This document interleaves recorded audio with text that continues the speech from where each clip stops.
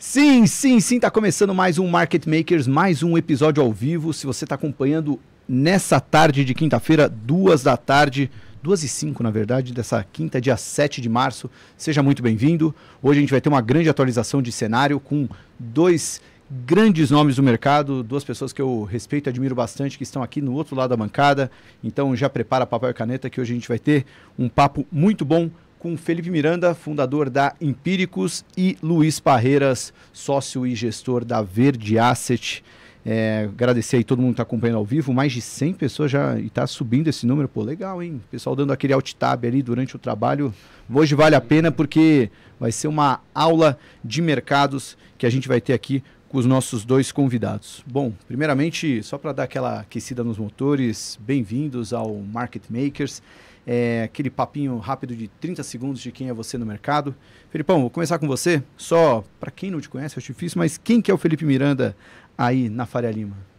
Eu basicamente fundei Empíricos, né, que começa como uma casa de research independente, vendo uma necessidade de se fazer isso no Brasil. Uh, a Empíricos toma uma, uma certa escala e depois a gente vê a necessidade de acoplar isso uma gestora e uma, e uma corretora também, uma plataforma de investimentos que acaba no final tudo sendo vendida para o banco BTG Pactual. E hoje é, sou sócio do banco. Basicamente é isso. Mas queria, fico até constrangido de falar na frente do, do Barreiras.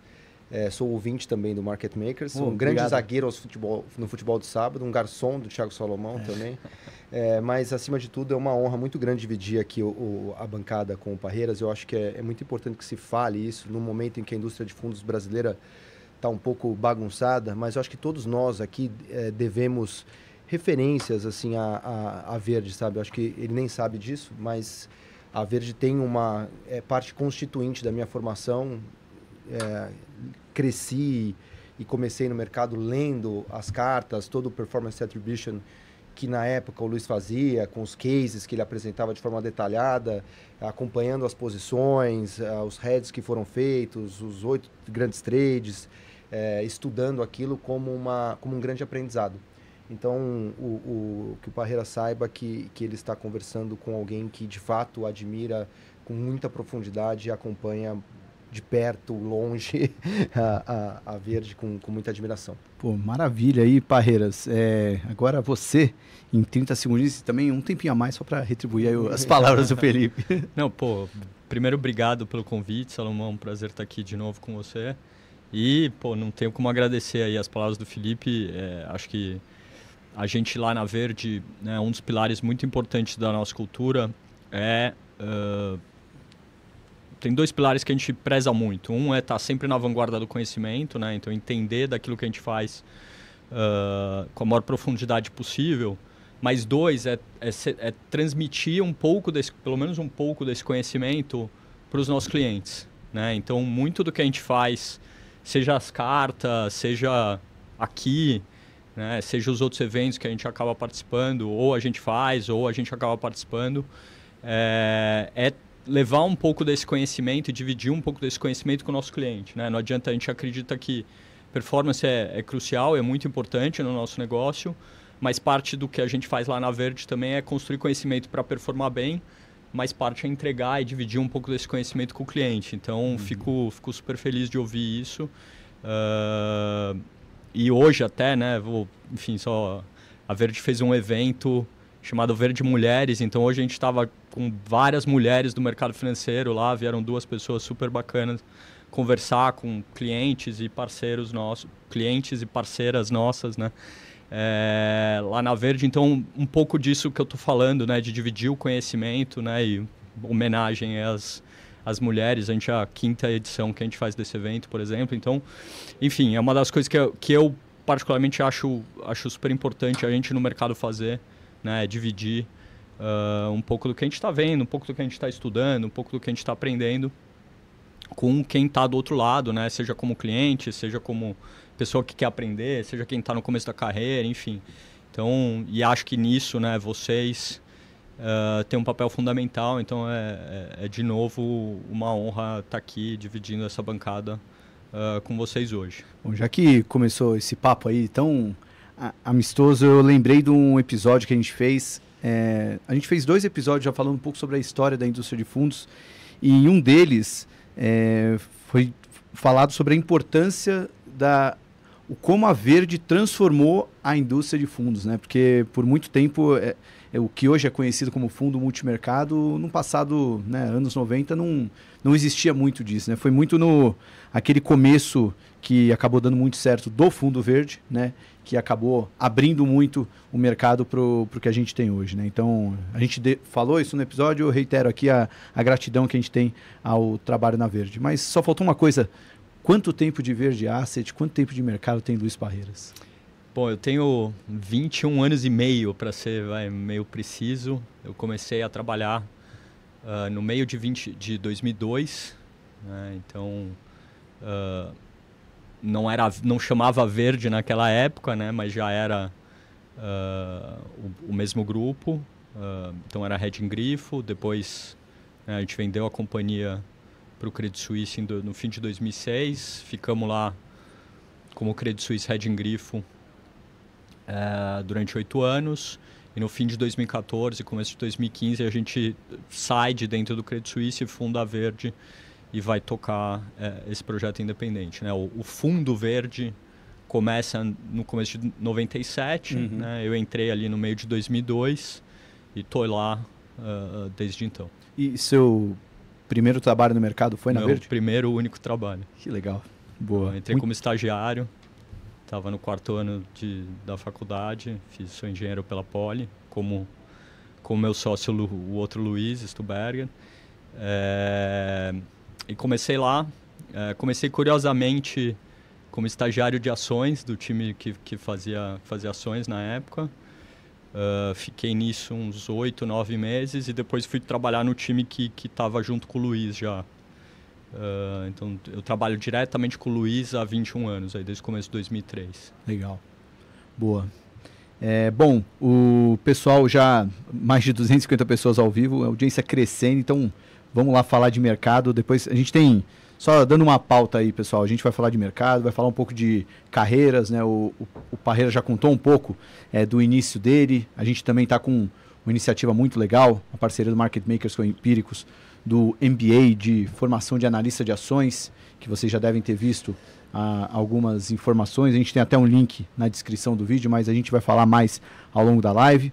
Vamos falar de é, novidades também que a Verde tem para falar. Não sei o, o, o, quanto a gente vai conseguir abordar sobre isso tudo, mas primeiro, antes de tudo, vamos entregar o que a gente tem que entregar, que é falar um pouco de mercado. É, acho que tem muita coisa acontecendo, mas é, o que eu acho que é muito curioso é como o, o mercado está estranho nesse começo de ano, mas ainda assim é, a gente vê as bolsas americanas nas máximas históricas, o Ibovespa, apesar desse, é, desse zigue-zague, a gente está muito perto das máximas históricas. Até a Bolsa do Japão, depois de muito tempo renovando máxima histórica, a gente vê o mercado é, num nível alto, historicamente falando, mas a gente também vê que o mercado não está caro. Pelo menos ali a gente fazendo conta, a gente identifica um mercado em bons preços para fazer é, investimentos, o que pode parecer um pouco contraintuitivo e até um pouco dessa indefinição no mercado gera um pouco dessa dúvida. Eu queria ter um papo bem aberto com vocês sobre como vocês estão vendo o mercado nesse momento. Posso começar com você, Parreiras? Claro. Aí, então, se quiser começar de fora, depois vir para dentro, mas enfim, co como é que você está vendo esse mercado? A gente agora dois meses e um, uns quebradinhos aí de 2024. É, eu, eu para começar eu voltaria na última vez que eu vim nessa bancada, né, que a gente fez um episódio junto que falava daquilo que a gente lá na Verde inclusive chamando um relatório, né, voltando às cartas aqui que a gente estava falando, que era o preço mais importante do mundo. Uhum. Né? Então, de uma maneira meio curiosa, uh, uh, muito do que está acontecendo no mercado no último ano e pouco pode ser explicado pela movimentação uh, das taxas de juros americanas e, e, meio que tudo deriva disso, né? Então, quando eu vim aqui, acho que foi setembro, outubro do ano passado, a gente vinha de um período onde né, a taxa de juros americana seja curta, média, longa, tinha subido bastante. Né? Uh, e lá eu falei que a gente achava que esse processo estava no fim, né? E esse processo mais ou menos terminou ali no meados de outubro do ano passado, quando o, o, o juro de 10 anos nos Estados Unidos bateu 5%, né? Meio um número meio mágico. Uh, e aí de lá para cá, e naquele momento a gente estava, por exemplo, com o S&P uh, 500 a 4.100, 4.200 pontos, né? Uh, o Ibovespa devia estar tá ali uns 122, 23 mil pontos, não, não acho que estava muito mais que isso, né? E, e quando a gente olha o que aconteceu da metade de outubro em diante, mas especialmente em novembro e dezembro, né, a gente teve uma reversão muito forte desse movimento de taxa de juros, né, com, com o, o, mercado precificando que a gente ia começar um ciclo de corte lá fora. Uh, e isso impulsionou muito ativo de risco, especialmente as bolsas para cima. Né? Então, o S&P sai de 4,200, vai para 4, quase 5 mil no fim do ano e agora tá, né? Estamos perto dos 550 aqui. Uh, outros mercados também subiram muito, e Bovespa aqui também teve uma pernada muito forte em novembro e dezembro.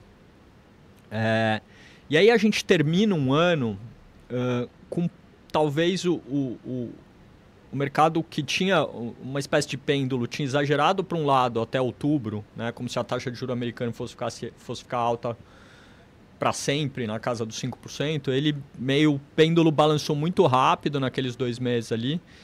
E a gente terminou o ano com o mercado precificando quase oito cortes de juros esse ano para o Fed, né, nos Estados Unidos. Então, do, praticamente 200 pontos de corte estavam uh, precificados na, cur, na curva americana. Isso nos parecia também um exagero, né? Então, eu acho que o pêndulo foi muito rápido de um lado para o outro. E a gente entrou nesse ano com o mercado precificando muito, uh, muitos cortes de juros, com uma economia que ainda é robusta. Né? Uh, a gente está falando dos Estados Unidos, cujo PIB esse ano deve crescer algo como 2, talvez um pouquinho mais que 2. Curiosamente, não tão diferente do que deve ser o crescimento do PIB do Brasil. Uhum. Né?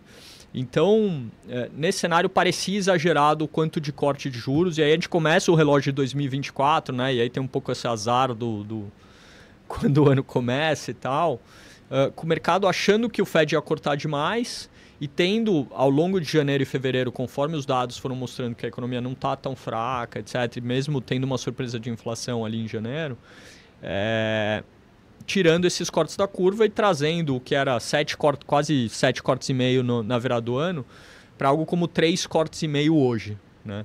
Então, esse processo de reprecificação de taxa de juro com né? O, o 10 anos terminou o ano lá a 3,70. Ele foi até 4,25 semana passada e agora a gente está aqui no 4,10. Então teve uma reprecificação de juros no mundo todo, né? que levou os ativos de risco a darem uma balançada. Uhum. A natural a pergunta aí, pô, mas então por que a bolsa americana não está pior? Né? Por que, que a, a, as outras bolsas do mundo estão todas subindo? E aí acho que tem muito a ver com o contexto onde, primeiro, é, tem toda a história de AI, enfim, a gente pode falar mais disso daqui a pouco. Mas a verdade é que os lucros das empresas estão crescendo e estão crescendo bem. Né? Então, é, quando eu falo de taxa de juro, eu estou falando muito de taxa de desconto. Né? Eu estou falando muito de múltiplo do mercado. É, mas tem um, a, a, outra variável que é fundamental, especialmente quando a gente está falando de ações, que é lucro. Uhum. Né? E o lucro, em geral, tem ido ou melhor que o, que, que o mercado esperava, ou mais ou menos em linha, então tem continuado a impulsionar. Então, é, de uma certa maneira, o que a gente está vendo aqui esse ano, uh, na maioria dos grandes mercados, é um, grande, é, é um rearranjo dos exageros do fim de 23. Assim. Isso é mais claro em taxa de juros, um pouco menos claro em ações, porque a história da lucratividade uh, continua a ser positiva. Isso, inclusive, vale para o Brasil. Quando a gente olha a Bolsa Brasileira, apesar de a gente estar tá com uma queda marginal aqui no ano, é, quando a gente olha ela uh, uh, embaixo da superfície, uh, o small, né, as, as, empresas menores, tem muita coisa caindo 20%, 30% uhum. no ano ainda. Né? Então, por quê? Porque são a mesma coisa que subiu muito, muito forte ali em novembro, outubro, novembro, dezembro, entrou nesse ano pô, cadê o fluxo? Cadê o gringo que comprou, né? Começou a sair e tal. Então, uh, teve um, várias variáveis que, de uma certa maneira, estão pesando no mercado acionário, no mercado acionário brasileiro até mais do que uh, no nível do Ibovespa isso fica óbvio. Por quê? Porque tem uma Petro que ainda está subindo uns 10% uh, no ano. Então, eu acho que tem um pouco isso quando eu olho o, o, o tático, digamos aqui, o cíclico de curtíssimo prazo. Tá? Quando eu dou um passo para trás e olho o estrutural é, um pouco mais amplo, é, para mim 2024 tende a ser um ano é, muito bom para ativos de risco. Tá? Por uma razão, duas razões muito simples. O crescimento do mundo continua razoavelmente robusto, a inflação caiu, então a gente está perto de ter uma, uma inflação uh, mais normalizada, sem entrar no detalhe da discussão de se isso quer dizer inflação de 2,3 ou 1,9 nos Estados Unidos, mas uma inflação que não tem mais nada a ver com aquela maluquice que a gente viveu 20, 21, 22. É, e então tem crescimento bom, inflação em queda e taxa de juros que vai cair. A gente pode ficar aqui discutindo, e é, um é o trabalho do gestor macro, essa esgrima cotidiana, vai cortar em abril, vai cortar em março, é maio, é junho, e olha todos os detalhes no lado, mas vamos abstrair um pouco essa, essa coisa vai mais do curtíssimo prazo e olhar num prazo mais amplo, a taxa de juros vai cair. Entendeu? É verdade que um pedaço disso já está na curva futura? É verdade, mas pro fluxo de dinheiro, de uma certa maneira, o que importa é a taxa spot, quando o Fed começa a cortar. Então, uh, de uma perspectiva mais ampla, eu acho que a gente está num ano que tende a ser muito positivo para ativos de risco. Um pouquinho disso está refletido nas bolsas? Sim. Mas acho que não está longe de estar tá completamente refletido, etc. Porque você também tem do outro lado histórias de lucratividade muito boas. Uhum. Né? Então, é um pouco como eu vejo. Assim, a gente tem o tático de curtíssimo prazo, que a gente entrou no ano talvez com certo exagero, corrigiu esse exagero e agora está num cenário mais normalizado, que eu, dizer, eu diria até que está uh, bem saudável. E a gente tem o estrutural. E no estrutural, ele tende a ser bastante positivo para ativos de risco de uma maneira mais ampla, tanto no Brasil quanto lá fora. Boa. Bom, então, esses primeiros oito minutos aí, o Parreiras já deu um, um belo pano de fundo. Filipão, queria que você complementasse é, um pouco, e até se escreveu muito bem aí no, no último relatório de vocês sobre a, a era da concentração. Eu sei que vocês estão com uma visão otimista para o mercado. Acho que vale a pena trazer também um pouco do ponto de vista. Eu concordo com tudo, assim. Algumas coisas que talvez eu pudesse adicionar só. É... Cara, primeira coisa que você falou no começo, né? Assim, as bolsas elas estão renovando máximas, é... mas a gente tem a sensação de que a bolsa está barata, né? Cara, normalmente as bolsas renovam máximas, né? A bolsa é nominal. Então, e, e do período de 2020 para cá, embora o Barreiras falou muito bem, é verdade, a inflação ela está bem comportada e caindo no mundo.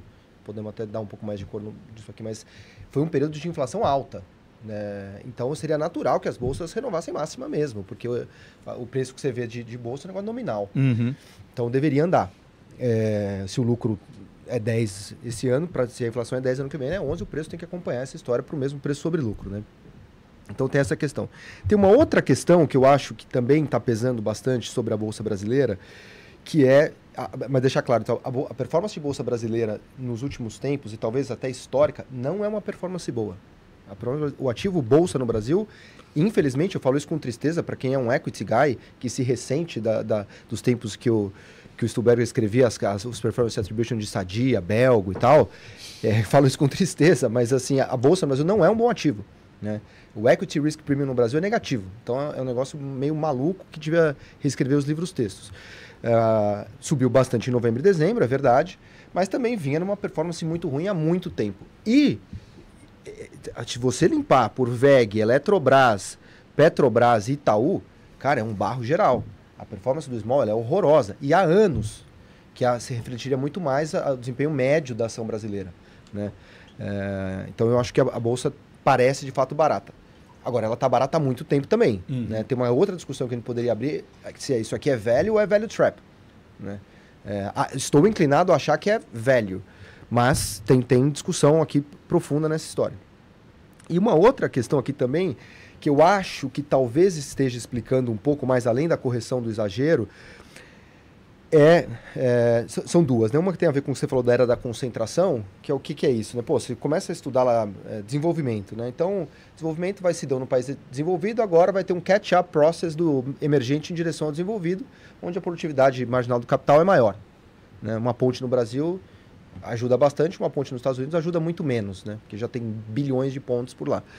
É, mas o mercado emergente então tem que crescer mais. É assim que você compra o mercado emergente. Agora, onde está o growth do mundo hoje? O mercado emergente você compra ou pelo carry, né, negócio de taxa de juro, ou você compra porque você acha que tem crescimento. O Brasil não tem, tem entregado um crescimento acima do que todo mundo esperava, mas assim, você olha para os Estados Unidos, está legal. Né? Então ninguém tem um fetiche especial em comprar Brasil. Você vai comprar isso aqui ou quando está ultra barato, ou quando tem algum trigger, ou quando está tá crescendo muito. E hoje, onde está o, crescimento mundial, esse, o, o crescimento mundial, ele está nas frentes de transição energética, de é, AI e cloud e cybersecurity. O Brasil não tem essas coisas. Né? Então é o growth está na Nasdaq. Né? A Nvidia é cara 70 vezes lucro. Se vai crescer 200 o lucro, não é cara. Né? Então é uma, é uma história que a gente está vivendo uma, entre um tsunami do além, que vai. Óbvio que tem muita espuma na história da inteligência artificial, mas tem também uma, eu entendo que tenha uma super revolução em termos de ganho de produtividade nessa história acontecendo, que os earnings deveriam andar muito fortes mesmo para frente. Que a gente nem sabe calcular direito, porque a verdade é que ninguém sabe né, como é que vai ser. Você tem um cheiro tal, mas é tanta incerteza que também quando a, né, da exponencialidade, né, quando você começa mesmo, você não lá na frente o que vai ser muda muito rápido. E tem um elemento técnico aqui acontecendo, é, que é quem, porra, não tem comprador a Bolsa Brasileira. Do ponto de vista prático, é a pessoa física, embora o governo tenha corrigido essa distorção, é, ou pelo menos parte da distorção, é só LCI, LCA, CDB, é, LIG, é, CRI CRA. É assim, tenta vender bolsa, não, você não consegue vender bolsa. Ah, mas não deveria, o mundo ser assim, deveria... É, deveria comprar quando está barato, mas compra quando, depois que sobe. É, o ser humano ele é o que é, não o que ele deveria ser. Né? E a realidade vai continuar sendo o que ela é, que a gente goste dela ou não. O gestor, multimercado em geral, ele está passando por um ciclo de resgate há muito tempo. E, e, e, inclusive, gestores que andaram bem não estão conseguindo captar bem. E com histórico fabuloso. O que eu acho um erro tremendo também da pessoa física. Assim, não sei o que aconteceu, que a indústria de fundos, de alguma maneira, no Brasil, eu sinto que ela ficou um pouco maculada o que eu acho uma barbaridade que está acontecendo agora. Mas eh, eu, acho que não é só uma questão cíclica. Eu acho que existe aqui também uma sensação de que, ah, eu vou fazer sozinho, ou, ou até a bolsa não presta, ou eu vou comprar só uh, renda fixa. Mas então você tem, pessoa física não compra, uh, o institucional, fundo de ação multimercado toma resgate, então ele é obrigado a vender, e o gringo que estava comprando começou a sair. É, ou para realizar lucro, ou porque está com os problemas dele também, né? Ou com as oportunidades de, dele. Então não tem comprador. E você tem os CTAs atuando num nível de volume que é impensável você comparar o que são os FIAs ou os multimercados brasileiros. Esse cara começa a fazer preço, o multimercado ou mesmo os FIAs tomando resgate e muito machucados, não começou a estopar as posições, não tem comprador, e de repente você olha para a tela, o negócio está caindo 10. Você fala assim, caramba, eu, e coisas assim que são emblemáticas para mim, sabe? Pô, Localiza tem um problema lá com a depreciação. Tudo bem, tem. Agora, eu acho que eu nunca vi, tirando pandemia, subprime, esse negócio cair 20 em, um me em dois meses. Cara, beleza, eu entendo que tem um problema com depreciação, ele é, é, é importante, precisamos tratar, mas 20? E não é que tava 40 vezes lucro, né? Então são coisas que começam assim, para mim tem muito tem a ver muito com profundidade da pedra, tem a ver com liquidez, com, com a pessoa tá muito a risco e tal. E aí para fechar, só para não me estender demais, eu acho que além do que o Parreiras. Eu, eu, concordo com tudo, eu ainda tenho falado isso aí. Esse é o primeiro ano pós-pandemia que a gente fecha esse ciclo, começa a cortar o juro e a gente volta a uma certa normalidade. Né? Mas tem algumas dúvidas aqui no ambiente. Primeiro, um, um uma dúvida que eu acho estrutural e pertinente. E eu não sei se a gente vai resolver cedo, que é assim. Bom, a, antes da pandemia estava claro que o mundo era meio deflacionário. Né? É o secular stagnation lá do, do Larry Summers, tem um excesso de poupança no mundo, a taxa de juros deveria ser negativa, é, então o mundo entrou nessa estagnação circular, não tem muito o que fazer e tal. Bom, vem a pandemia. Dá uma bagunçada geral, primeiro ela é deflacionária, porque a demanda agregada mergulha, as oferta, a oferta também bagunça, a oferta se restringe, ela vira inflacionária, é, os bancos centrais entram, colocam todo o dinheiro no mundo, os tesouros nacionais todos, né, aquela moderna teoria monetária se provou uma coisa esdrúxula, né? Você moeda, dá inflação. Né? É isso que acontece. É, deu a inflação, e agora você tem duas forças que elas são inflacionárias, que é o negócio da você precisa reorganizar, as cadeias produtivas elas estão já reorganizadas, mas ninguém quer muito mais depender do coleguinha russo nem do chinês. Né? Então, você reindustrializa o Ocidente e você faz isso porque você precisa mais de segurança e de uma a questão geopolítica vira muito importante, mas você não foi para a China porque você gostava, você foi porque era mais barato, né? Uhum. Então, isso é inflacionário. E a questão da transição energética, ela também é importante, mas ela também é inflacionária. Você também não, não, não queima o petróleo, né? Porque você tem um fetiche especial em destruir né, a camada de ozônio, porque ele é mais barato também. Então, você precisa fazer esse negócio que ele é inflacionário. Mas você continua tendo as forças do secular stagnation, elas estão aí. A demografia, ela, você vai ficar, a gente vai ficar cada vez mais velho e a tecnologia vai ser cada vez maior. E talvez até falar um absurdo aqui, mas mais maior ainda o crescimento, porque agora entra o negócio do AI com, de uma forma brutal, que deveria uhum. ser deflacionário também. Então quem que ganha nesse jogo aqui, né? Pô, o mundo é deflacionário ou ele ou a, então e a gente não tem ainda você só faz ciência com um dado, né? Você precisa do tempo para você fazer estatística e econometria em cima dessa história. Entra uma, uma pegada meio de evento de cauda, que eu não acho que é isso, mas eu, ele começa a ser colocado, que é a inflação ela vem linda, que, de um jeito que ninguém acreditava que ela viesse no segundo semestre do ano passado, né? Quando o Christopher Waller falou assim, é, soft landing, o pessoal riu da cara dele. Falou, mas tá bom, você vai trazer a inflação de 10 para 2 e você não vai causar recessão? Foi. Né? Tá, lá, não é 2, é 2,5 vai ser 2.4 agora, cara, tá perto, né? Rolou o soft landing. Mas aí veio agora, em janeiro, um uptick. E o mercado de trabalho muito apertado. Então tá todo mundo nessa assim, ixi, eu acho que a inflação volta. É um uptick num, num downtrend, mas pô, também não vou ainda, né? Vai que esse negócio ainda. O cenário do que a economia americana volta a acelerar, o tal do no lending voltar a ser discutido e tem gente séria, né? Larry só, talvez o próximo passo do não é o cenário base, deixa só deixa, mas assim, quando entra na, no cenário de mesmo de cauda, que é assim, ó, talvez o próximo passo seja uma alta e não uma baixa, você dá essa reorganizar, essa bagunçada geral também. Uhum. Então essa é a minha leitura do que está acontecendo, mas eu concordo, para mim é um ano bom ainda. O ciclo ele foi post ele estava muito dependente do corte de juros lá fora, estava todo mundo e o próprio Fed empurrou todo mundo para março agora foi para junho. Então, da mesma maneira, o ciclo ele foi postergado, ele não foi suspendido, sabe? Eu acho que ele vai, ele vai acontecer, ele só foi empurrado alguns meses para frente. Eu, eu, acho que esse papo ao vivo ele foi, tem sido muito pertinente porque tá, tá de fato difícil entender o que está acontecendo com o mercado. Acho que tem muito mais não sei do, que, é, do que certezas. Acho que é, toda essa questão de o quanto que a gente vai ganhar com inteligência artificial, o quanto que isso já está tendo resultado. É, e até isso já tem sido cada vez mais dito. Né? Teve um relatório semana passada do pessoal da uma consultoria, acho que é Alpine, que ela falou, comparou que estava o, o, ciclo que foi do S&P em 95 para frente com o ciclo que a gente pode ver agora, que não necessariamente seria uma queda de juros que vai fazer a bolsa subir.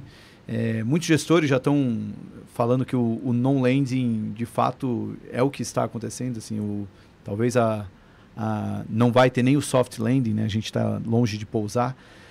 Mas eu, eu acho que valeria a pena a gente estressar um pouquinho mais esse assunto inteligência artificial. Não sei o quanto que vocês já conseguem ter alguma estimativa ou se simplesmente, ó, nada sei sobre isso, mas vamos comprar as Mag 7 ali que pelo menos eu vou, vou seguir essa tendência. Mas o, o quanto que já dá para ter botar um pouco na conta dessa nova evolução, dessa nova tendência mundial, isso que a gente está vendo agora desse non-landing ou o, esse cenário agora que a gente está vendo? É, assim, tem estimativas, tá? É, eu acho que tem um, um, um grau muito grande de, de chutometria, né? Especialmente quando você fala do macro, dos dados macro, né? Então, PIB, inflação, etc. Uh, as melhores contas que eu já vi do pessoal da Goldman Sachs uh, falam que putz, isso aí pode acrescentar até 1% de crescimento do PIB é, nos Estados Unidos, né? E no, talvez nos outros países desenvolvidos um pouco menos, porque são sempre mais lentos, né? Como o Felipe falou, é, não é onde é o foco da, do desenvolvimento.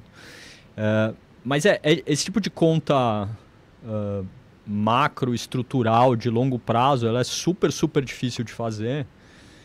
Vide o fato que há quatro anos atrás as pessoas achavam que o mundo caminhava para um crescimento zero, vai, toda a tese do, do secular stagnation. Então, é, eu acho que é assim, a, é, o mercado, os, os economistas, os analistas em geral, a gente tem um defeito que é natural, que é pegar tendências que a gente está vendo aqui no, no prazo curto e extrapolar elas até o infinito. Né? Então, é, é, é estagnação para sempre, é depois é inflação para sempre, depois né, agora é, é, é, inteligência artificial vai dominar tudo, etc. Então, eu, eu, eu, sou sempre um pouco cauteloso quando eu, eu vejo esses prognósticos assim de prazo muito longo.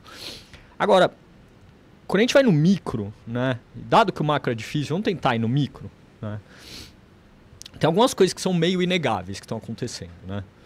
Primeira coisa é, é, independente se isso aqui vai ter um grande benefício ou não, a gente está vivendo um ciclo de investimento estúpido, né? Muito, muito forte para tentar perseguir o que vai ser é, inteligência artificial. Então, por que, que a Nvidia é a terceira empresa mais valiosa do mundo hoje, né? Depois da Microsoft e da Apple? É, porque ela vende nessa corrida do ouro, ela é a dona da pá. Né? Então, e não, não só ela, ela é a dona, ela é a vendedora da pá, ela tipo tem a fórmula de como se faz pá, entendeu? Então, é, o que a gente está vendo agora é não é nem a corrida do ouro, é a corrida da compra de pá. Então, a gente pode dizer sim que tem um ciclo de investimento já acontecendo muito grande. Isso tem efeito macro, isso você vê no PIB. Né? Uma das razões que a gente não está tendo landing né, nos Estados Unidos, ou, ou provavelmente eu tendo a concordar com isso que o Felipe falou, que a gente já teve o soft landing, né? é o fato que a economia americana teve uma recessão em 20, 22 e 23 no, em setores mais cíclicos, como como housing, né, residências, como, como um pouco o setor financeiro e mesmo o setor é, de tecnologia lá atrás. Mas em contraponto a isso, ela teve um ciclo de investimento brutal. Né? Parte disso veio com estímulo fiscal, né, com algumas medidas uh, fiscais muito fortes que o, que o governo Biden fez. Né?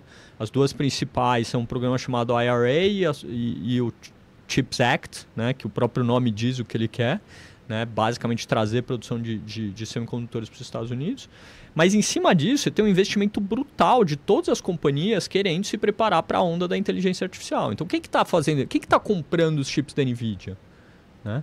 É o Facebook, é a Microsoft, é a Amazon, é a Apple, entendeu? Isso vai para uh, pegar o, o, o, Facebook, o Instagram, o TikTok, o, todas as coisas que as pessoas têm e injetar e tentar injetar mais inteligência entre aspas naquilo, né? Um, um pouco do que a gente está vendo de, de, do que é inteligência artificial hoje é isso, é você injetar um pouco mais de inteligência, pegar o comportamento, ah, do, qual tipo de foto que você vê no Instagram e tentar te vender uma propaganda melhor ainda do que a que os caras já, já faziam. Então não é que a gente é...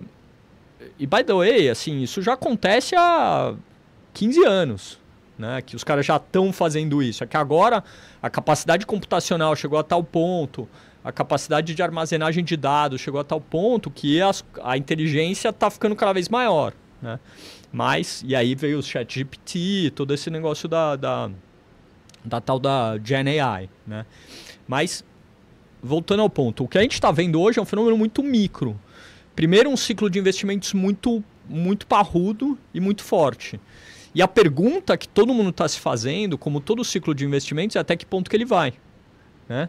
Por isso que quando você olha a Nvidia de um ano para cá, o, a, o preço da ação subiu, sei lá, umas quatro vezes. O lucro dela subiu umas oito vezes. Né? Com, que é coisa clássica que a gente vê em ciclo de commodities. Né? O preço da commodity dispara, o múltiplo da companhia nunca é, sobe na mesma, na mesma velocidade. Por quê? Porque todo mundo se pergunta quando que a Nvidia vai parar de crescer o, a venda de chip e, portanto, a lucratividade dela. Então tem todo essa, esse aspecto. Dando um passo mais para dentro, o que, que a gente está vendo no resto das empresas e, e, portanto, no resto da companhia? São os passos iniciais de tentar usar a inteligência artificial de maneiras inteligentes para ou fazer mais com os recursos que você já tem, ou fazer o mesmo que você faz com menos recurso, né? Então, uh, os exemplos mais claros assim são uh, programadores ficam estupidamente mais uh, mais produtivos, porque ChatGPT e seus congêneres produzem código de, de, de programação, né? Então, o programador ele fica duas, três vezes mais produtivo, então você precisava de três caras para fazer o mesmo trabalho, agora é um. Né? Então, aí é, isso é produtividade na veia. Isso é PIB na veia? Discutível. Tá? Uh, semana passada saiu uma anedota que, que acho que circulou bastante, etc. Uma empresa sueca, uh, mas que tem negócio nos Estados Unidos, na Europa toda, chamada Klarna. Uh, que é uma empresa que faz aquele faz crediário, né? Que lá fora tem o um nome bacaninha de Buy Now Pay Later, mas é, é o velho e bom crediário, né? Ela financia consumo. Uh, ela estava lá e deu uma declaração, a empresa privada e tal, uh, deu uma declaração que com novos chatbots, né? Chatbot é o programa de computador que te atende no WhatsApp quando você vai reclamar alguma coisa, quando você quer, quer alguma informação ou quer pedir ajuda em alguma coisa. Ela conseguiu substituir o trabalho feito por 700 pessoas de um call center por um chatbot.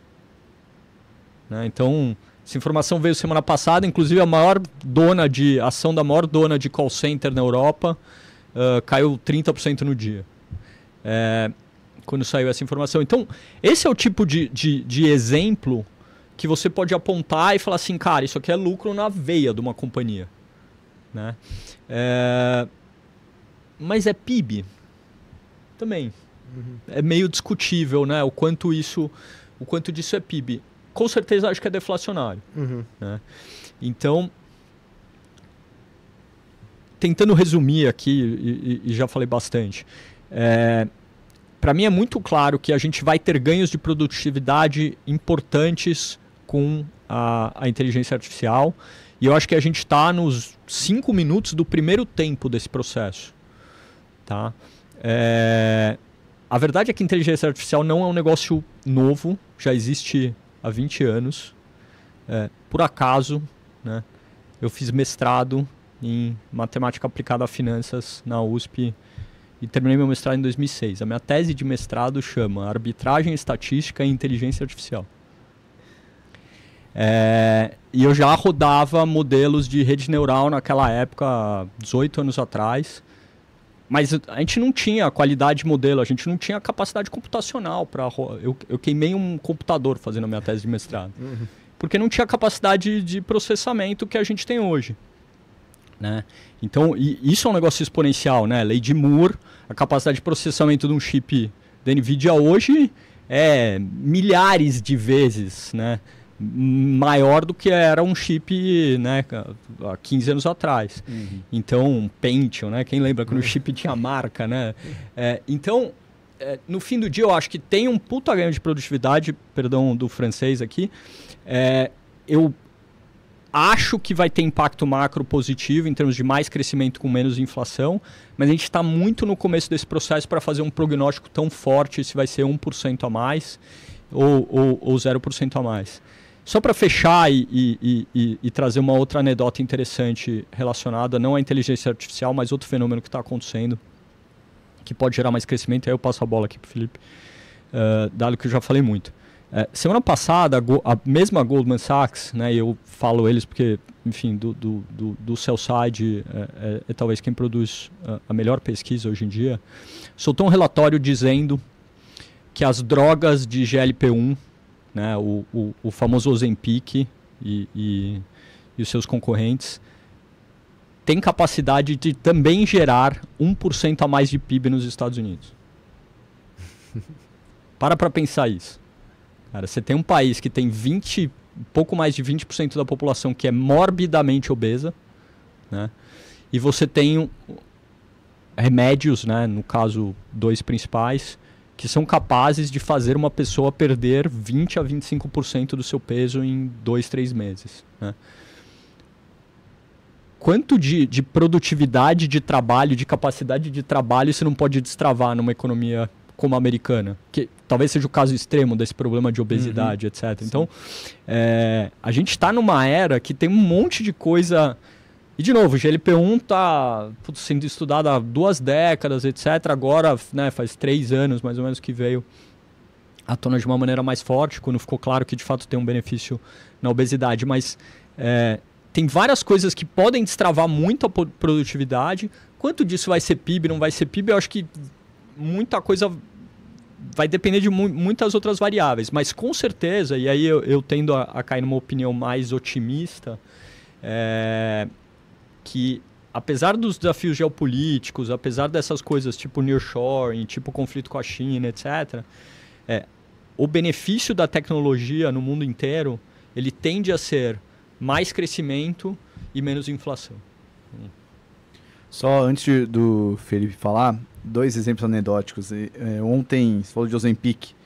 É, ontem o, o Celside do Safra acompanhou o call de resultado da RD, a Raia do Brasil, e parece que foi dito que o Ozempic já bateu 4% das vendas da, da RD em alguns trimestres, né? É. Maior rede de farmácia do Tem Brasil. assalto de farmácia para roubar o Ozempic e, e vender no mercado negro. Isso é um fenômeno que existe no Brasil. É, essa eu já não, não sabia dessa. Mas, e, e, ainda sobre. Você falou da Lady Moore, lembrei do bônus que a gente gravou no BTG Summit com o, o João, aqui da Empírico Gestão, e o Rui da Kinea.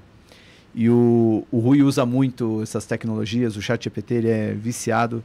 E aí ele falou assim: eu, eu fazia imagens através do ChatGPT e era horrível, porque eu jogava lá o que eu queria e sempre eram ima imagens muito ruins. Então eu puxava a ideia e dava para uma agência de marketing e falava, ó, oh, melhor isso aqui.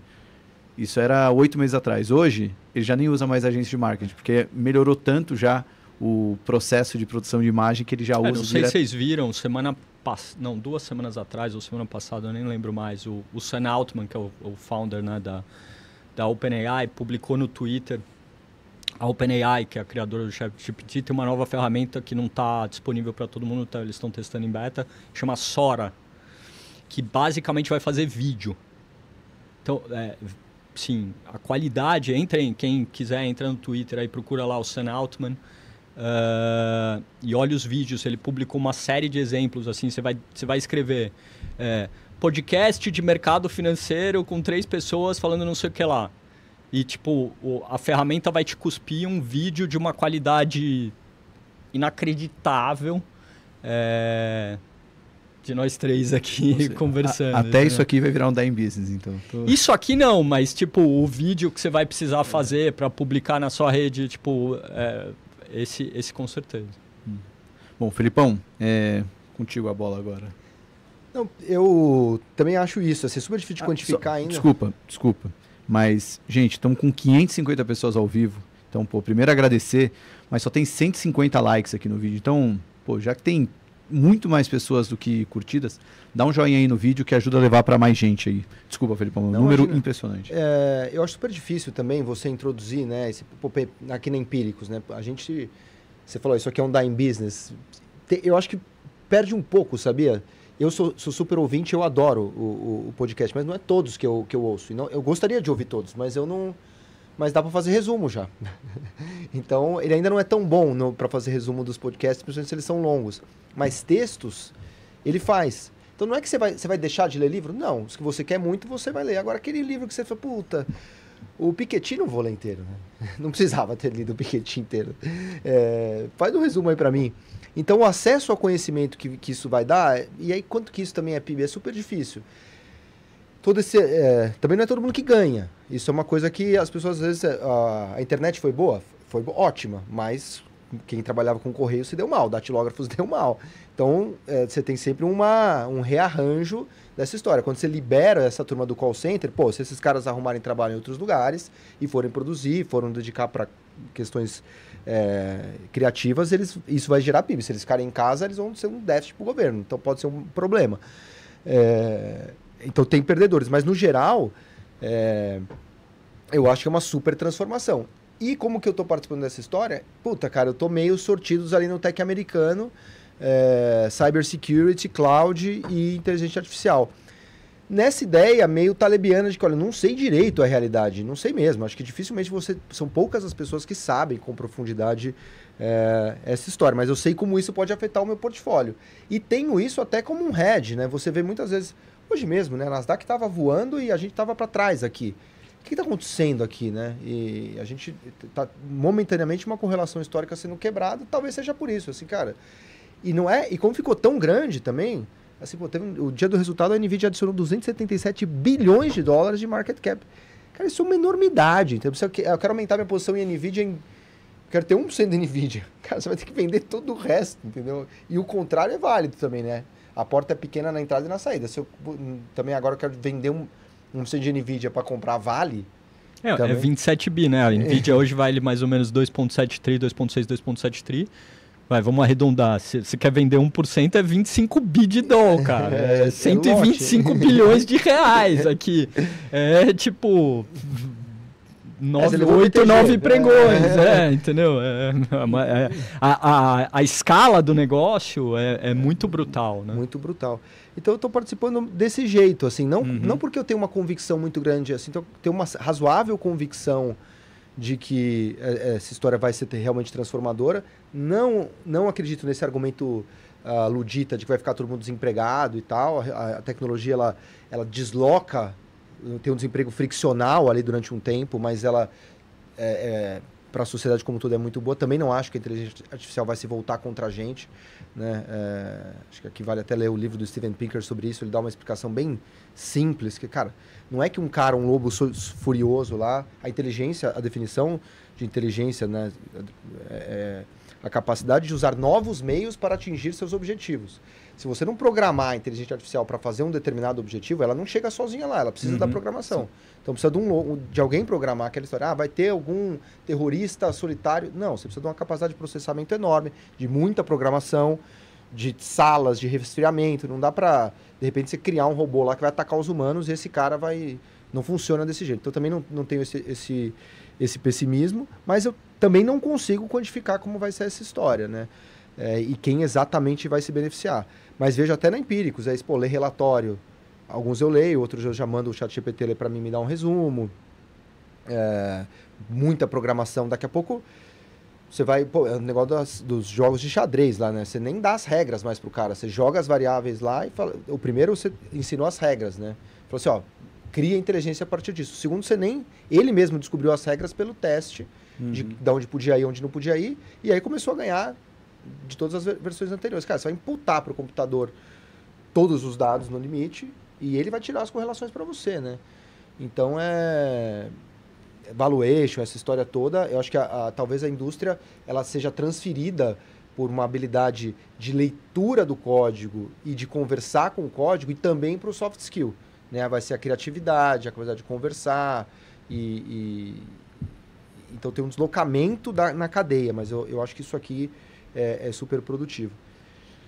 Então acho que tem que participar dessa história, assim, em cloud, é, inteligência artificial, cybersecurity, até como, um, como hipótese de que isso vai concentrar o fluxo e vai afetar o mercado emergente. Né? É dessa maneira que está na carteira de vocês. É, então. porque a gente tem bolsa brasileira também. Uhum. Né? A uhum. gente tem bolsa brasileira e está lá sofrendo esse ano, né, por conta da, da, da posição em bolsa. Mas né, meio, meio zero, sofrendo não é caindo, né, no zero a zero, assim, atrás do CDI. É, mas é, é assim que eu tenho participado. E vocês, Parreira, vocês estão comprados nessa, nessas ideias ou estão acompanhando mais de uma maneira, ou se posicionando através de outras formas? Não, a gente está tá comprado, enfim, bolsa americana de uma maneira agregada e aí quando é, eu entro no, no stock picking que o nosso time tem feito, tem muito esse, esse sabor aí. A gente tem sido acionista de NVIDIA já tem mais de um ano. Uh, Microsoft é uma empresa que talvez a gente tenha na carteira há mais de uma década, né? Talvez o grande player de cloud e, e agora em AI, etc, né? Uh, até coisas como, como Meta, né? O Facebook e tal, que, enfim, aí tem, tem uma história micro, tem muito de, de, de inteligência artificial. E o que a gente está discutindo muito agora é, é a, a segunda, a terceira, a quarta derivadas uh, do que vem. Então, como eu estava como eu tava falando, né? A Nvidia é meio que a, a pá. Uh, a gente está tentando descobrir quem são os outros instrumentos que potencialmente vêm vem depois. E óbvio, tem muita coisa que já andou e tal, mas tem muita coisa que talvez esteja, esteja para trás. Né? Então, para treinar esses algoritmos de inteligência artificial, você precisa de, de uma magnitude estúpida de dados. assim. Então, uh, o, o, os players que, que focam em storage, né, que é armazenamento de dados, estão super para trás, talvez seja uma tese, entendeu? Tem teses até, tipo, nos Estados Unidos, tem coisas começando a funcionar como plays de utility regional, porque em determinados estados estão tendo muito data center de, de inteligência artificial, isso está consumindo muito mais energia, porque esse negócio é muito intenso em energia. Então, a as equatoriais de determinados lugares estão subindo muito nos últimos meses. Então, a gente está focado em tentar entender, acho que é, é, é essa segunda derivada. E como uma terceira derivada, digamos, mais ampla, e acho que isso vale para a Bolsa Brasileira e vale para todas as bolsas meio do mundo, é entender, um, quais modelos de negócio vão ser disruptados pela inteligência artificial, tá? Uh, dois, quais modelos de negócio vão ser potencializados, que vão ficar extremamente mais produtivos e, portanto, lucrativos com inteligência artificial. Né? Um negócio que antes você fazia com 100 pessoas, se você conseguir fazer com 10 e talvez cobrar até um prêmiozinho de, de preço, você fica. É, é margem na V. Então, gente, é, essa é uma segunda derivada. E três, uh, aí eu acho que está um, um pouco mais longe, mas a gente está sempre tentando pensar, é que modelos de negócio que a gente nem imagina né, vão vir com inteligência artificial. Acho que a gente ainda, é, comparando né, com essa história que você falou antes até, é, Thiago, do, do ciclo da internet, né? Uh, em 94, né, os primeiros plays foram... Puto, é, é, é, a primeira empresa de e-mail, depois teve a Netscape, né? Então muita gente associa hoje a, NVIDIA, ou o lançamento do chat GPT no fim de 2022 com o lançamento do Netscape, né, que foi o primeiro browser de internet uhum. uh, mais popular. Então, o que, que vem depois? O que, que, que, que vão ser o que, que vai ser o Yahoo, né, do mundo de inteligência artificial? O que, que vai ser o Google? Porque o Google já matou o Yahoo depois, né? O que, que vai ser a Amazon equivalente? Então, acho que tem muita coisa aqui que a gente está começando a tatear. Então, a gente está tentando focar nosso esforço de pesquisa em entender o que na, na, primeira camada vai das pás e das ferramentas, o que, que ainda tem de oportunidade, entendendo que já tem muita coisa no preço. Numa segunda camada, uh, quais são os, os, as derivadas que aí talvez tenha menos coisa no preço, mas tem muito benefício ainda desse ciclo grande.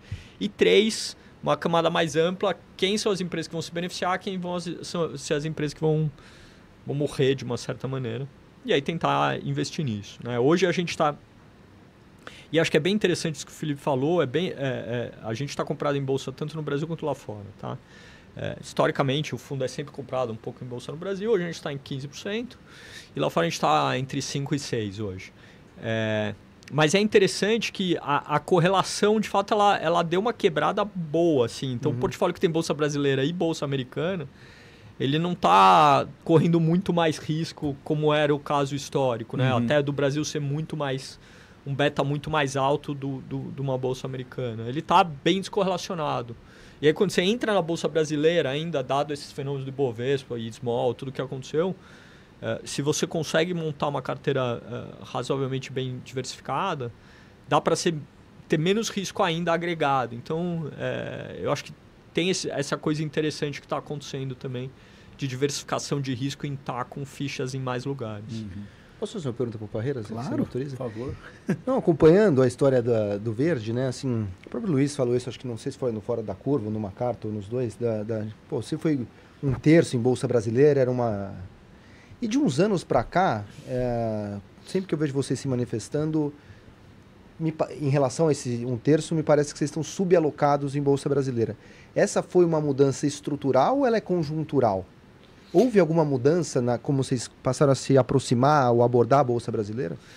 Acho que teve duas mudanças assim, uma, uma acho que teve três mudanças, vai, uma macro, uma micro e uma interna a verde. Né?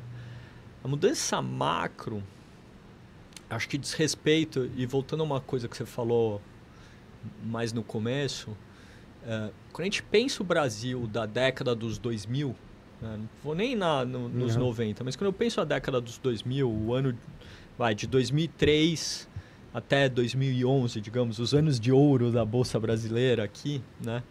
No nível macro, a gente tinha um país que crescia, sei lá, double digits, né, de, uhum. de PIB nominal. Uhum. Uh, na média ali do período, talvez uns 10 ou 12. Então, pô, você tinha no, e eu sempre penso assim, o PIB nominal é o que condiciona a receita das empresas, de uma uhum. maneira né, é, macro.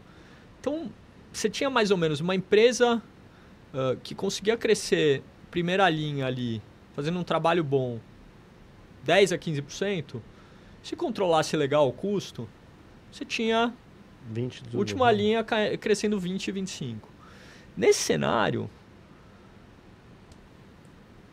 Difícil dar errado. Né? É, entendeu? Tipo, a alocação em bolsa, ela, ela vai funcionar, assim, você não errando demais a empresa e você não errando demais o, o momento, né? Então, permitia a gente carregar um portfólio de bolsa que é, meio ele estava muito bem defendido porque o, o, a tendência subjacente do crescimento de lucro das, das boas companhias brasileiras, e no Brasil só sobrevive quem é bom, uhum. né? É, era muito, muito construtivo. Então, esse, digamos, era. Estava é, subjacente àquela ideia de portfólio que o Luiz construiu lá atrás e que a gente navegou durante 15 anos. Talvez não tivesse tão explícito essa, essa uhum. clareza né, com, com essas palavras, mas a exposto é muito uhum. óbvio. Então hoje a gente tem uma economia que vai crescer PIB nominal esse ano 6. Uhum. Né? Então, para o lucro crescer 15, né? Ou você tem alavancagem, ou você é muito bom, ou você está num mercado que está crescendo muito mais que o PIB. Mas não são tantos os cases, né? uhum. né? Então, é, eu acho que tem esse shift macro é, estrutural que aconteceu e, e, acho que ali o, o, o, o, fim do primeiro mandato de Dilma, né, toda aquela, aquela história de 2013 a 2015, que foi quando o Verde veio de ter 30% de bolsa para ter zero de bolsa brasileira, a gente chegou a, a, alguns anos ali, 14, 15, 16, a ter praticamente zero de bolsa brasileira. A gente teve muita bolsa lá fora nessa época. Uh, foi ali que meio quebrou na nossa cabeça esse modelo uhum. estrutural. Segunda coisa, micro, né? Uh, e acho que é um pouco o dilema que a bolsa tem hoje, né? Uh, o Brasil durante toda essa era, mais ou menos até quase 2018, sempre foi um país de, de taxa de juro muito alta. Então, é, a maioria dos negócios eles tinham pouca competição. Porque no custo de capital alto, você não financiava é, aquela coisa que a gente já falou publicamente várias vezes, né? Quem é empreendedor no Brasil é, é herói. Porque se fizer muita conta, não faz nada, né? Fica no CDI. E nessa época ainda nem tinha essa, essa grosseria que se criou nos últimos anos, que é o CDI isento, que é um, uma excrescência completa. Mas, é, então, o custo de capital era muito alto, o país é difícil pra caramba, imposto, burocracia, regulação, blá, blá, blá, blá não se criava competição. Então a gente criou uh, oligopólios ou monopólios inacreditáveis em termos de retorno sobre o capital. Então a gente tinha os bancos mais lucrativos do mundo, a gente tinha a empresa de cerveja mais lucrativa do mundo, a locadora de veículos, né, para pegar a localiza que você falou agora, mais lucrativa do mundo.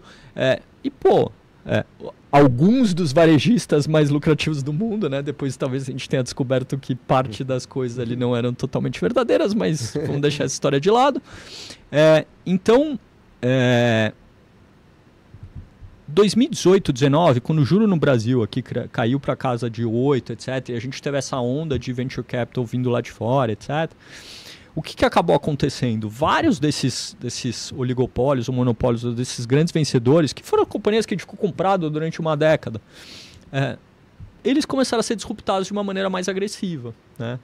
Uh, e aí vem o Nubank, e aí vem Malmovida, ou outros players que estão tentando competir com a Localiza, ou mesmo modelos de negócio um pouco diferentes ali. Uh, vem uma, uma própria Heineken, não que a Heineken tenha se beneficiado, né, mas uh, passou a ter um concorrente uh, muito relevante para o Mambev, veio toda a disrupção do mundo de varejo, de, de outras coisas desse tipo. Então, uh, no micro, o Brasil, infelizmente, ele tem esse problema que claramente você não tem nos Estados Unidos, que é ele forma pouca empresa nova que é grande. O Brasil é o país do simples. Né? Uhum. A empresa ela é incentivada aí até uma certa escala. Você é o simples, depois você é o lucro presumido. Ninguém quer ir pro lucro real e pagar 35% de imposto, entendeu? Ou mais até se você é um banco. Então, é, é o país que, por todos os nossos problemas tributários, regulatórios, burocráticos, etc., ele não, não incentiva a empresa a ser grande, né? É, por isso que o, o Davi, o que ele fez com o Nubank, é uma, é uma cara, uma coisa inacreditável, entendeu? Ele né, criou um competidor para o negócio que era um negócio estruturalmente mais rentável do Brasil, uh, com custo muito mais baixo e por aí vai. Então, e chegou na escala que chegou, com quase 100 milhões de clientes e tal. Então, é, o fato de ter pouca ação para comprar no Brasil, né, e com liquidez, né, depois que a gente foi ficando um fundo grande, foram aparecendo, né, até um pouco como você falou antes, antes o Verde era um player relevante muito relevante em todos os mercados não tinha tantos outros players né, com muita escala. Hoje em dia, pô, tem uma porrada de asset aí, de multimercado pelo menos umas 10 e de bolsa mais umas outras. Acho que já foi 10, talvez umas 5, 6, muito grandes, etc. Então a capacidade de se mover em escala, etc., ela foi ficando difícil, né? Porque eu acho que a indústria de investimento no Brasil cresceu mais rápido do que o número de de Empresa. empresas disponíveis uhum. para se investir, né? Uh, quando eu comecei lá em 2002, talvez tinha umas, sei lá, 30 empresas investíveis. Hoje, para os fundos que, que são grandes e que respeitam algum limite de liquidez, você tem 100, né? Com, uh, então, pô, cresceu? Cresceu, mas nos Estados Unidos você tem uhum. umas mil, vai. Uh, e aí você vai Europa, Japão, China e por aí vai. Então, ficou mais difícil a gente ter uma carteira tão grande de bolsa, especialmente indo nas coisas menos líquidas. Uhum. Né? Então essa é a razão micro, né? E eu estou dando uma resposta, acho que talvez muito longa para uma pergunta. Não, não, tá é, ótimo. Uhum. E a terceira, que aí acho que tem muito mais a ver com o que a gente fez dentro de casa, a gente, até 10 anos atrás, a gente não fazia crédito. E a gente desenvolveu uma capacidade lá dentro e uma, uma, uma experiência de fazer crédito que na nossa cabeça dá retorno parecido com o retorno de equity. Né? Uhum. Então a gente construiu um time e uma capacidade de investir um pedaço do, do livro do Verde, gerando o retorno de CDI mais 5, 6, né? que acho que todo investidor de equity uhum. no Brasil ficaria satisfeito se conseguisse gerar over the cycle, é, com um décimo da vol. Uhum. Entendeu? Então, dentro da construção de produto numa indústria cheia de desafios como é a nossa, de fundos e de multimercados, a gente viu esse shift de portfólio. Então, hoje o verde tem 15% de crédito e 15% de bolsa, que é mais ou menos os 30% que a gente historicamente uhum. teve. Então, a gente continua investindo em companhias, só que um pedaço disso vai para crédito e um pedaço disso vai para equity. Uh, e no crédito, a gente acha que tem uma oportunidade de gerar retornos similares com uma volatilidade substancialmente menor do que a volatilidade de equity. Então, essa é um pouco por que, a gente fez essa mudança. E hoje crédito é, representa esses 15%. 15% do portfólio do verde. Então dá para dizer que tem aí então, uns 15 bolsa brasileira, uns 5, 6 bolsa americana. Isso. Uns 15 crédito brasileiro. Não... Desses 15 de crédito, mais ou menos 12 a 13, 12,5 mais ou menos são no Brasil e 2,5 são lá fora. Uhum.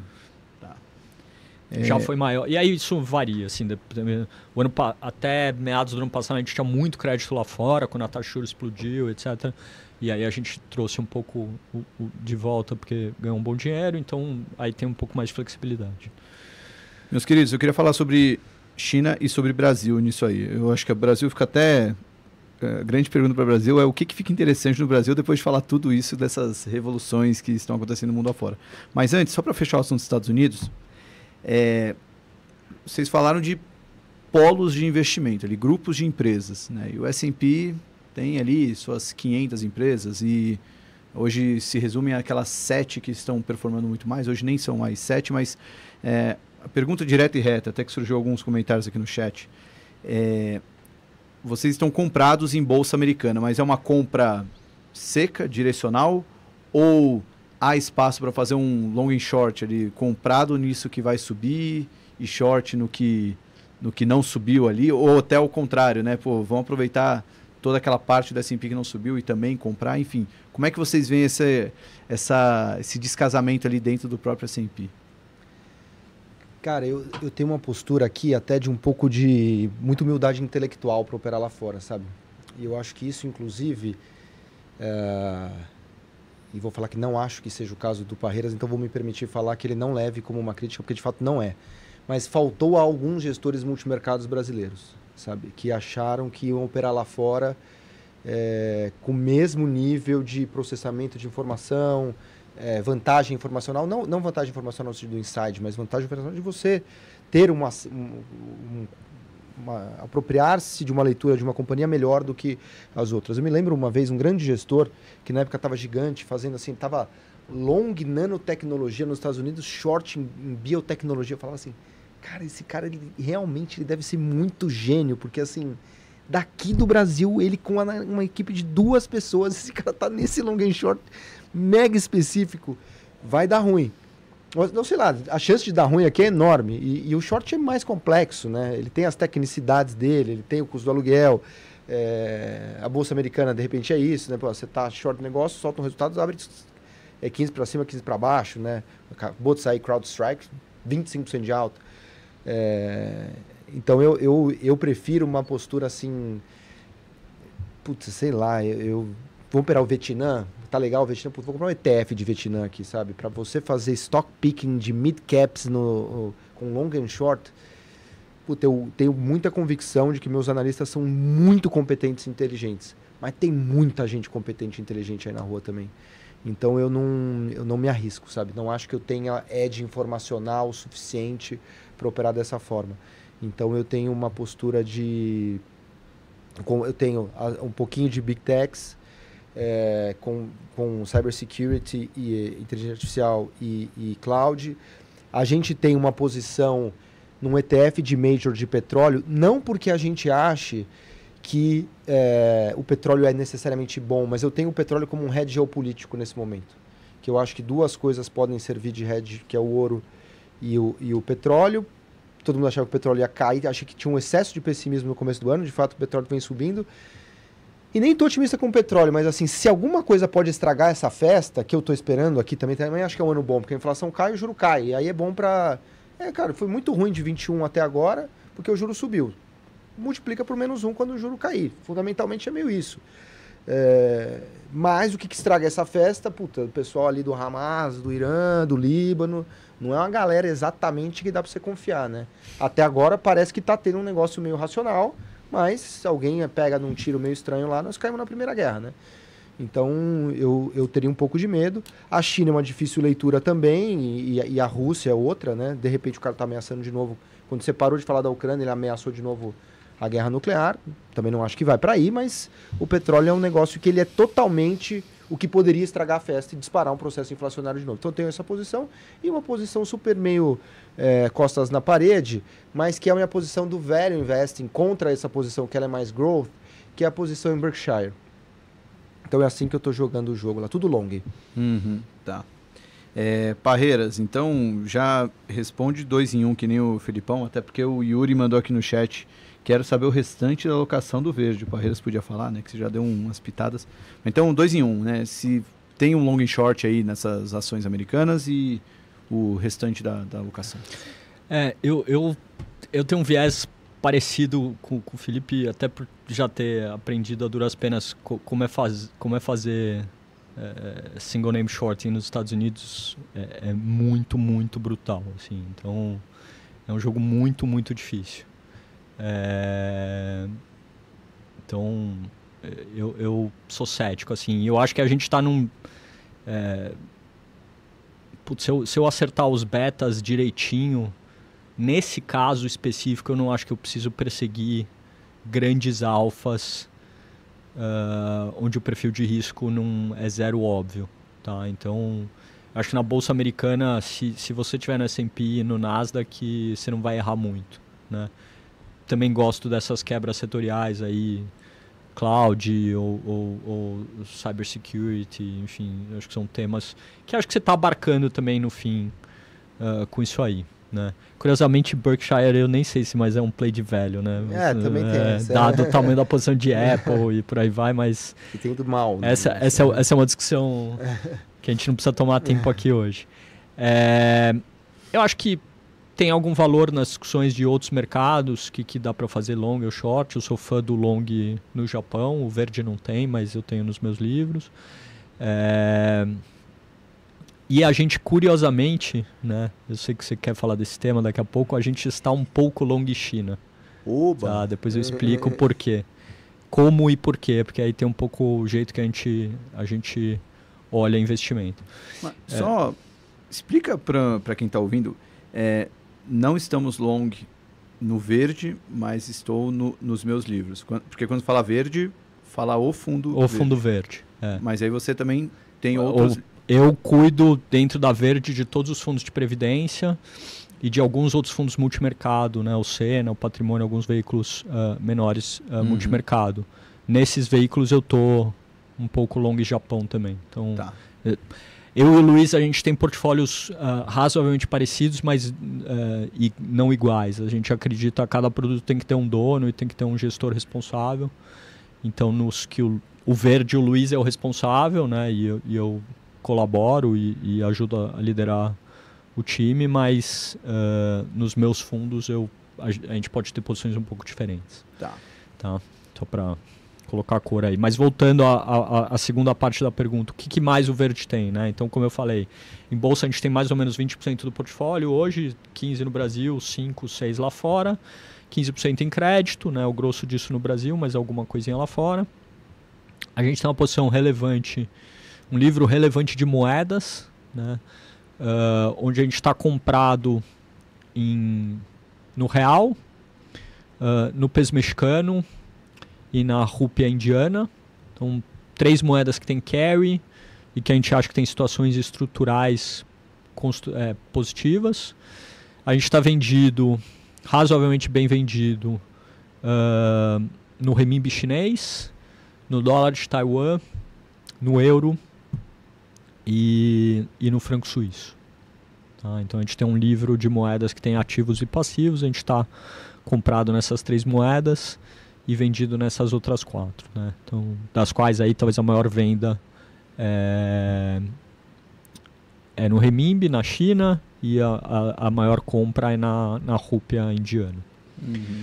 É, e em renda fixa, aí a gente tem uma série de posições. Basicamente, a gente está aplicado aqui, ou comprado na NTNB no Brasil, especialmente a parte mais longa da curva. A gente acha que juro real de 5,60, 5,70 uh, é muito, muito alto uh, para o Brasil. E o prêmio de inflação que o mercado está cobrando está baixo demais. Né?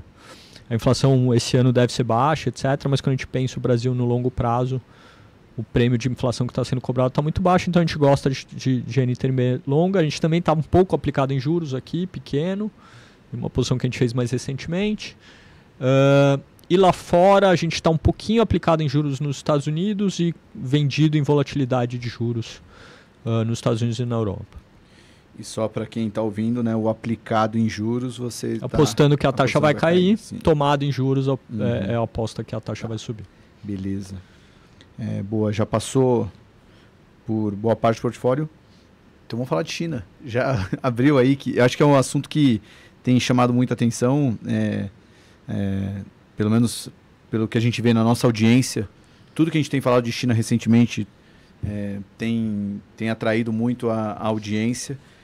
E o que, que tem por trás esse long em China e até como é que é esse long? É, a gente, eh, como você repara que eu acabei de falar, a gente está vendido na moeda chinesa. Uhum. Né? Uma posição grande até, que a gente carrega um pouco mais de um ano.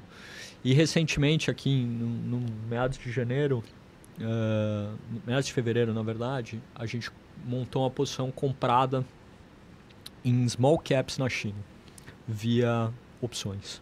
Né?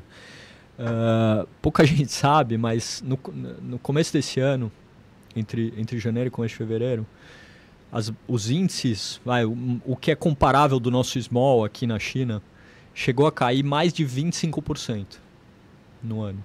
Né? Uh, e por que, que isso aconteceu? Porque lá na China, vários bancos, etc., criaram uh, produtos estruturados similares aos nossos COIs aqui, né? e venderam esses produtos uh, para o varejo chinês. Né? E vários desses produtos era, era aquela renda fixa, assim, não, eu vou te pagar, sei lá, de juros na China é 2, vai, uh, uma conta de padeiro. Eu vou, eu vou te gerar um retorno de é, 10, né? E o chinês falou, fechado, comprei. Mas como que você gerava esse retorno? O, chinês, é, o produto estava vendendo um monte de put fora do dinheiro de índice de small e mid caps na China. Uh, e de repente esses, a, a, a, bolsa veio caindo e algumas dessas puts começaram a entrar no dinheiro e começou a explodir os, os produtos. Né? Uh, isso gerou uma, um círculo vicioso, né? uma bola de neve. Inclusive o nome que o mercado dava para esse, esse produto era Snowball. É, isso gerou uma mega venda na, na, nos índices de small mid caps na China e, e criou um deslocamento de mercado enorme. Né? E nesse momento, na hora que a gente olhou isso, né, a gente é, deu uma estudada no mercado e achou maneiras de, de comprar uh, a reversão desse fenômeno usando, usando calls, usando call spreads, usando estruturas de opções. Uhum. Né? Então o que a gente fez foi, a gente foi lá, é, gastou um pouco de prêmio para montar uma posição comprada, uma posição pequena, de um pouco mais de 1% do fundo, né? Uh, comprada na Bolsa da China porque tinha um movimento técnico que estava fazendo o mercado pular da janela, literalmente. Né? Uh, e aí a gente montou essa posição. Não era porque a gente tinha uma visão estrutural que vai ser muito melhor e nada disso. É que a gente viu dentro de um contexto de mercado já muito difícil, né? na China, a gente viu um movimento técnico que na nossa cabeça estava criando uh, um, um, deslocamento muito, muito grande. E aí a gente se aproveitou disso. É... e, e para montar uma posição e, e, comprar uma simetria muito grande para cima. Né? Curiosamente, a primeira pessoa que provocou o Luiz e eu para olhar esse trade no detalhe foi o Daniel Goldberg. Né? Que é, isso é um negócio totalmente fora do, do, do métier dele, né? Uhum. mas é, ele enfim, estava recebendo informação. Falou, ó, vocês já olharam isso? E a gente estava acompanhando, mas não estava acompanhando o detalhe. E na hora que ele chamou a atenção, a gente foi lá e foi olhar no detalhe. E na hora que, e aí a gente falou, pô, tem uma oportunidade aqui, uhum. né?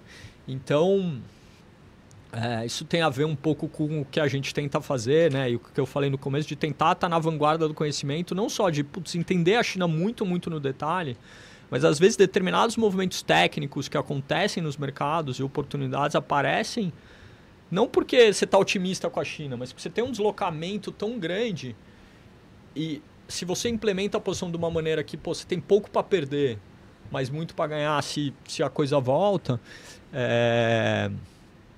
acaba sendo muito interessante. Então, é, esse, esse é um pouco o, o, o, jeito que a gente tenta investir, né? E e por isso que a gente está comprado na bolsa chinesa. Né? É, e, putz, num índice que provavelmente ninguém nunca ouviu falar, que é o índice de small caps lá, entendeu? É, e aí você tem que. Putz, tem que operar na hora de Hong Kong, então eu estava operando essas opções meia-noite, não sei o que lá, mas é, faz parte do nosso trabalho, às vezes tem que fazer essas coisas. É, mas dando um passo para trás, assim, a, a, nossa visão estrutural para a China é uma visão, não é uma visão positiva, é uma visão negativa. Uhum. É, o que eu acho que é o desafio, eu acho que tem dois desafios em relação a isso. Um, é, como tudo, e eu, falei agora há pouco, né, é, eu acho que o, o, nós, analistas e, e, pessoas do mercado, etc., uh, a gente tem esse, esse essa perigoso hábito de extrapolar demais as tendências, né? Então você pode ser, assim, é plenamente possível de acontecer que a China esteja numa tendência estrutural muito negativa, que é mais ou menos o que eu acho que está mesmo, uh, e tem um ano positivo. Porque resolveram dar mais estímulo uhum. ou, ou, ou, basicamente uh, impediram que as, as, pessoas vendessem ativos chineses. Né? Há, há, duas semanas atrás, ou três semanas atrás, o regulador chinês, né, digamos a, a CVM, chegou para B3 equivalente, vai para as bolsas e, e, e falaram determinados fundos quantos não podem mais vender. Oi? Como é que é? Não pode vender. Tipo, você tem um portfólio de, sei lá, 100 papéis e né, esses caras operam em frequência super alta, não pode vender. Então, mas... E aí, faz o quê? Entendeu? Então, se você não pode vender, o que acontece? O mercado sobe. Então, é, tem, tem, assim, eu acho que a gente tem que tomar cuidado de não se contar uh, histórias que são estruturalmente negativas, né? E o episódio que vocês fizeram aí sobre China foi super interessante. É, e, e eu diria que eu concordo com boa parte da tese estrutural, mas às vezes a gente fica muito negativo e aí o preço né, tem o mau hábito de não concordar com a sua tese estrutural. Né? Então, o jeito que a gente está expressando a nossa negatividade com a China é na moeda. Por quê?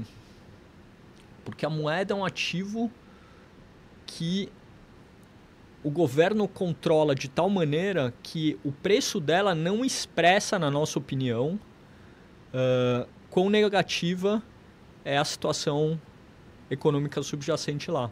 Entendeu? Então é mais ou menos mal e mal comparando uh, com o Brasil. Né? Na época que a gente tinha o real uh, fixo, né? ou essencialmente fixo. Né? A economia vai deteriorando e a moeda não anda. Né? No Brasil, como que se resolvia esse problema, que era um país deficitário em conta corrente na época? Você tinha que levar a taxa de juros na lua, né? E aí você piorava, inclusive, o problema. A China não tem esse problema, porque ela é superavitária. Tem toda uma discussão sobre isso, mas não vamos entrar nela. Mas ela é superavitária em conta corrente.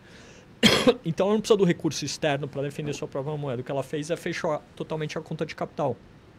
Então, na nossa cabeça, o renminbi está no preço errado.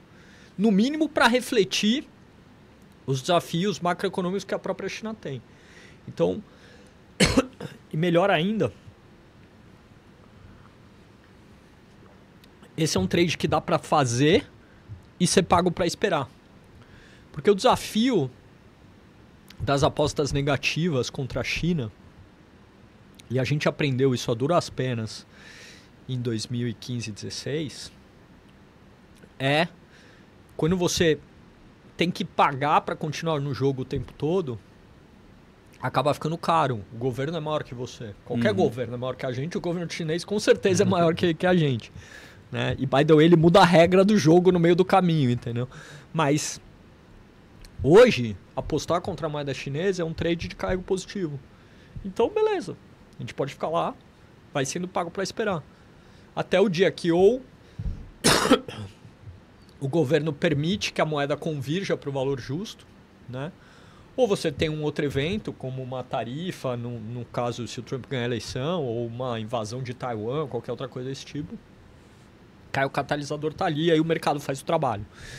Então, é, é por isso que a gente gosta muito da, desse, desse trade, porque é um trade que a gente acha que o fundamento estrutural está muito a nosso favor, é, a gente acha que tem um gap de preço, de valuation, não estou pagando caro por essa ideia, ou não estou vendendo uma ação que é barata, né, como é o caso de ficar short bolsa chinesa. E três, e talvez mais importante, o tempo joga a meu favor. Eu sou pago para esperar nesse trade, né? Uhum. Talvez para quem não. É, até foi a pergunta é, que chegou aqui, porque por ficaram. São por que duas que perguntas. Por que carrega positivo por... e o que aconteceu em 15 e 16 também. Qual que é a taxa de juro na China hoje? Vai, refletida numa moeda. 2%, mais ou menos. Qual que é a taxa de juro dos Estados Unidos? 5. Uhum. 5,25. Então, em moedas, é, investimento em, em, em, moedas é sempre um jogo de valor relativo entre duas coisas. Você está vendido em alguma coisa, está comprado em outra coisa. Uhum. Então, quando você está comprado no dólar e vendido no renminbi, está comprado numa moeda que tem uma taxa de juro de 5,25, está vendido numa moeda que tem uma taxa de juro de 2. Né? Então, se, a, se, a, se as moedas comparadas né? É, o que, que você ganha? Você ganha o diferencial de taxa de juros ao longo do tempo, né? Então isso quer dizer eu tenho um carrego positivo. Se fosse o contrário, você tem carrego negativo. Então você tem que pagar todo dia para ficar naquela posição. Né? Por isso que eu falo, o tempo joga a nosso favor e não contra a gente. Em né? 15, 16. Em 15 e 16 era o contrário. Por quê? Porque o dólar tinha taxa de juros zero, a China tinha uma taxa de juros mais próxima de 4. E aí, é, ou a moeda mexia rápido, ou você ficava queimando, é, o, tempo ia contra, a, a, contra você. E em 2016 teve uma coisa mais forte ainda, que foi o seguinte. A China, no meio de 2015, ela fez uma micro desvalorização da sua moeda. Não é uma maxi, porque maxi é aquela coisa que a gente viveu no Brasil aqui, não vê que a moeda anda. O, o Egito fez uma maxi na segunda-feira, a moeda andou 40% num dia. A China fez um movimento de 5 e depois fez um outro movimento de mais uns 4. Ela deixou a moeda dela desvalorizar quase 10% em uma semana. Né? E aí a gente já tinha posição naquele momento, ganhou um bom dinheiro, mas todo mundo foi lá e apostou muito que aquele processo ia continuar. E o próprio chinês mandou muito dinheiro para fora. Então a China, entre meio de 2015 e começo de 2016, queimou um trilhão de dólares de reserva para defender sua moeda. Uhum. Isso era o quê? Isso era basicamente o chinês falando: pô, a minha moeda vai desvalorizar, eu vou mandar o dinheiro para fora. O que, que a China fez em 2016 que mudou o jogo? Ela fechou a conta de capital. Então o chinês não podia mais mandar dinheiro para fora. Foi impedido de mandar o dinheiro para fora. E aí, isso muda totalmente o jogo. É o, é o, que a gente fala, o governo muda a regra. É, porque aí você não tem mais alfoga de capital. E na China a gente sabe como é. Se o cara pô, não pode fugir com o capital. Se o cara foge, o governo bate na porta dele e fala, meu, que que é? é? Tipo, desaparece com o cara, mata ele, mata a família, sei lá, entendeu? Tô exagerando aqui, mas para fazer o ponto. Qual que é o problema da China hoje? Conta de capital você fecha uma vez só. Eles já usaram essa arma. Então eles não conseguem mais usar isso, entendeu? Então hoje a aposta, diferente de 2015, é, eu sou pago para esperar e algumas das armas que o governo tem, ele não, ele já usou, entendeu? Perfeito. Felipão, vocês têm alguma opinião sobre China? É, eu acho assim, China é uma grande dúvida também. Você olha as métricas, parece barato e aí você fica nessa história se é um velho, é um velho trap. Num ambiente que é muito complexo de entender, porque a estrutura é confucionista, as regras são diferentes, a filosofia de vida é diferente. Então, é... Pô, a China é, é, é, contra tudo que eu acredito, né? O modelo, um ente central decidindo o que todo mundo vai fazer. Então, pô, eu, acredito na tentativa e erro, né? Deixa as pessoas aí, elas vão descentralizadamente encontrar um caminho, né? O Google não nasce porque o Bill Clinton resolveu fazer o Google. É um cara tentando, né? E vários outros tentaram e fracassaram, né? Não foi só o, o Larry Page que conseguiu, porque foi o único que tentou.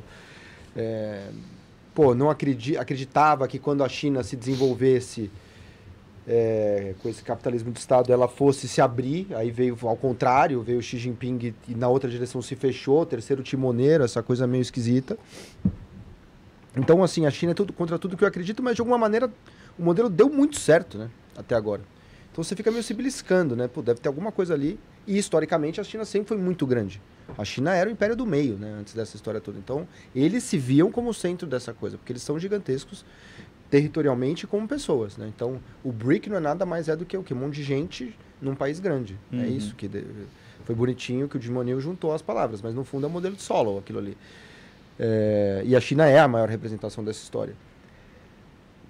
Então eu não sei muito bem, entendeu? E agora tem essa super. E, e uma outra dúvida que é, cara, você estar certo na hora errada, beleza, tem esse, essa tecnicalidade que o Parreiras explicou e é verdadeiro, né? É, que você estar errado, mas recebendo por isso, tudo bem. Mas uma boa ideia na hora ruim costuma ser só uma ideia ruim, né? E por que, que eu estou dizendo isso? Cara, para mim é muito claro que existe um problema estrutural na China, né? é, um problema de demografia, que o negócio está realmente, né, ninguém quer mais ter filho na China, e então a população está envelhecendo muito rápido. Então, e você não tem um governo de bem-estar social na China, né? Você não tem esse estado, é, esse welfare state que você tem no Brasil e tal. Então, ficar velho na China é um super problema. Então, o cara poupa desde sempre porque sabe que vai ficar velho. Então, você não tem consumo. E essa história do, do com dois problemas. Era um modelo do sport-led growth muito focado no investimento. Cara, beleza, você faz tudo, você faz o Parque Fabril, você faz um monte de oferta e de repente as estradas estão lá, as cidades foram construídas. Você não dá para construir outra cidade em cima daquela que já é fantasma, né? Uhum. Então você vai ter que mudar para o consumo, só que isso vai bate de frente com o que o cara pensa. Então só tem uma, para mim a saída e, e, aqui eu caio numa dicotomia. Acho que o, o, o Parreiras chegou na conclusão que eu, que obviamente chegou muito antes de mim, eu demorei muito para chegar. Mas que é assim, cara, só tem um negócio. Esse cara vai. O que, que deve acontecer no mundo para mim, né? Esse cara continua. Então ele faz, ele continua no modelo sem parar por um tempo, porque ele não quer que, até por uma questão pessoal, ele acha que consumo é uma coisa ruim. Né? Então ele vai continuar insistindo no investimento, vai aumentar a oferta, a demanda não absorve, ele exporta a deflação para o mundo. É isso que está acontecendo. Até eu vi o episódio do Cerise com o Schwartzman. Ah, a China não exporta a deflação. Ela exporta. Isso é um fator objetivo. Assim, você está vendo a Gerdau brigando para você. É, talvez não seja para todos os bens, para o serviço é mais difícil você exportar agora. A inflação de bens, que é parte importante da inflação global, da, do, dos índices cheios, é, ela está exportando. O, o BYD está vindo aí também. É eu acho que porque as pessoas têm simpatia por o carro chinês. O alemão, acho que entre um alemão e um, e um chinês no mesmo preço, eu ia comprar o um alemão. Então, é, a indústria alemã, inclusive, está com problemas para concorrer com isso. O Musk falou que, cara, não dá para concorrer. E assim, o cara é um obstinado, né? O Musk trabalhou por seis dias consecutivos, 23 horas por dia. Então, assim, não é que o cara não, não é um cara. O cara trampa. É, tem todo esse estigma em torno dele, mas assim, se ele não está conseguindo concorrer, é porque os caras estão fazendo alguma coisa especial lá que é muito subsídio. Então, ela está exportando uh, deflação para o mundo. O que, que vai acontecer em algum momento, muito provavelmente? Cara, a Gerdau tá lá no resultado pressionando para você ter, junto com a CSN, pô, não dá para esse. Até a Turquia meteu tarifa na China. A Turquia foi, era o cara que fazia dumping com o mundo. Agora ele taxou o aço chinês. Uhum. O Trump tá aí, 60% de tarifa no, no chinês. A indústria alemã provavelmente em algum momento vai reagir. O a BMW, a Mercedes vão deixar o BYD. Não, tá vindo. Tarifa Euro, da Europa tá, tá, tá na agenda desse ano, assim, uma coisa que vai acontecer. E aí o que, que o cara vai ter que fazer? Porra, em algum momento ele vai ter que desvalorizar a moeda dele. Porque é o jeito dele tornar o produto dele mais barato. Então, é, e não subsidiar tanto. Né? Ou tornar ainda mais barato a ponto de concorrer com a tarifa. Por que, que eu acho que ele não fez ainda? Cara, porque você empobrece a população, né? Uhum. No final é isso. Assim, ele, ele tá nessa dicotomia de que eu, eu preciso soltar, mas eu tenho um custo social dessa história aqui. É, mas não, e o chinês, e tem um aspecto, só desculpa te interromper, Imagina. mas com, complementando, o chinês se, se abraçou um pouco nesse lema de a, o remimbi vai ser uma alternativa ao dólar. Uhum. Né? Então a minha moeda é uma representação da minha força geopolítica. E na China tem muito esse conceito do, do save face, né? De, do, do, assim, como é uma tradução ruim do termo, mas é perder a que cara que eu vou ficar se eu fizer uma coisa, né? Eu vou perder a cara, né? É uma tradução ruim desse, desse, dessa expressão, mas é, é desvalorizar a moeda para eles é, é lose face, né? É perder uh, reputação global de uma certa maneira. Então eles vão é, é, aquela coisa típica que o policymaker do mundo já errou 50 vezes, né? Você vai até a hora que é inevitável e aí você uhum. faz muito mais, mais rápido, muito pior do que teria sido de outra maneira, mas a moeda tem um pouco desse aspecto, me parece. Posso que estou tentando uhum. interpretar os caras por que, que também eles fazem isso. É, mas assim, perdeu o Playboy, né? Porque assim, esse inclusive voltando ao painel que você comentou muito e que o Stuberger estava com o Jakurski e o Rogério, e o Jakurski fala um negócio, né? O, o a, a, degradação do Ocidente, hum, ou, ou uma... O Ocidente em declínio, né? Ué, tá anotado aqui. Que eu acho um papo, assim, eu, ele pode até ter razão sendo uma perspectiva, o que eu também não considero verdadeiro, mas assim, poderia até haver razão do ponto de vista absoluto, que agora todo mundo só quer saber do TikTok, ninguém lê mais o Dostoiévski. Tudo bem, tem um, tem um ponto aqui. Mas em termos. Esse é um papo meio 2021, hum, entendeu? Porque. Eu, eu concordo totalmente. É, Cara, se a gente tinha o negócio do fim da história do Fukuyama, que assim, agora não há alternativa à democracia liberal desde que caiu a União Soviética e o Muro de Berlim. Beleza. Então os valores ocidentais ganharam. Pô, os valores ocidentais são cheios de problema, a democracia liberal é cheia de problema, mas é disparado a melhor coisa que a gente tem. Aí de repente aparece o Putin, o Erdogan, o Urban, o Xi Jinping, e começam a antagonizar com a democracia liberal. E, e assim, pô, essas autocracias podem representar um perigo. Isso aqui, o mundo estava muito pior ali. E aqui a gente está vendo que assim, a China está, depois de muito sucesso, o modelo está naufragando agora. O que é uma ótima notícia do ponto de vista mais, mais geral. Uhum. Assim, as alternativas à democracia liberal estão perdendo o jogo. Ainda bem. O medo dessa história, assim, no desespero, o cara vai lá e invade Taiwan. Né? Porque assim, você está meio em briga interna aqui, você arruma um inimigo externo, que seria um tiro no pé também enorme do cara, mas no desespero você faz um monte de coisa. Né? É, então, tudo isso para dizer que assim, tem alguns dinheiros que eu não toco, entendeu? eu não faço nada na China. De alguma maneira, estou expressando essa minha visão com uma pequena posição em Gerdau nos nossos portfólios, pela simples razão também, não acho que seja fantástico, eu acho que simplesmente tinha um excesso de pessimismo, assim como houve é, com o petróleo, eu acho que houve com siderurgia no final da, do, do, na virada do ano. Isso Infelizmente errei o cavalo, porque isso aqui veio em Osiminas, não veio em, em Gerdau. Mas no, o resultado de Gerdau e o, e o Cellside já, o, o BTG foi o primeiro Cellside a fazer isso, já vendo ali um, um eventual uh, low do ciclo no último, no último trimestre. É uma ação barata que dá para esperar também, porque paga um bom dividendo. Por sorte, você ainda pega uma, recupera uma reorganização societária aí de Goal, que está descontada é, que parece improvável, mas o mercado vira e mexe especula sobre essa história. E o governo brasileiro, é, acho que cedo ou tarde já colocou uma tarifa, mas que não fez nem cócegas, né? É, deveria, de alguma maneira, uh, taxar também o, o, os produtos chineses e a operação na América do Norte vai muito bem.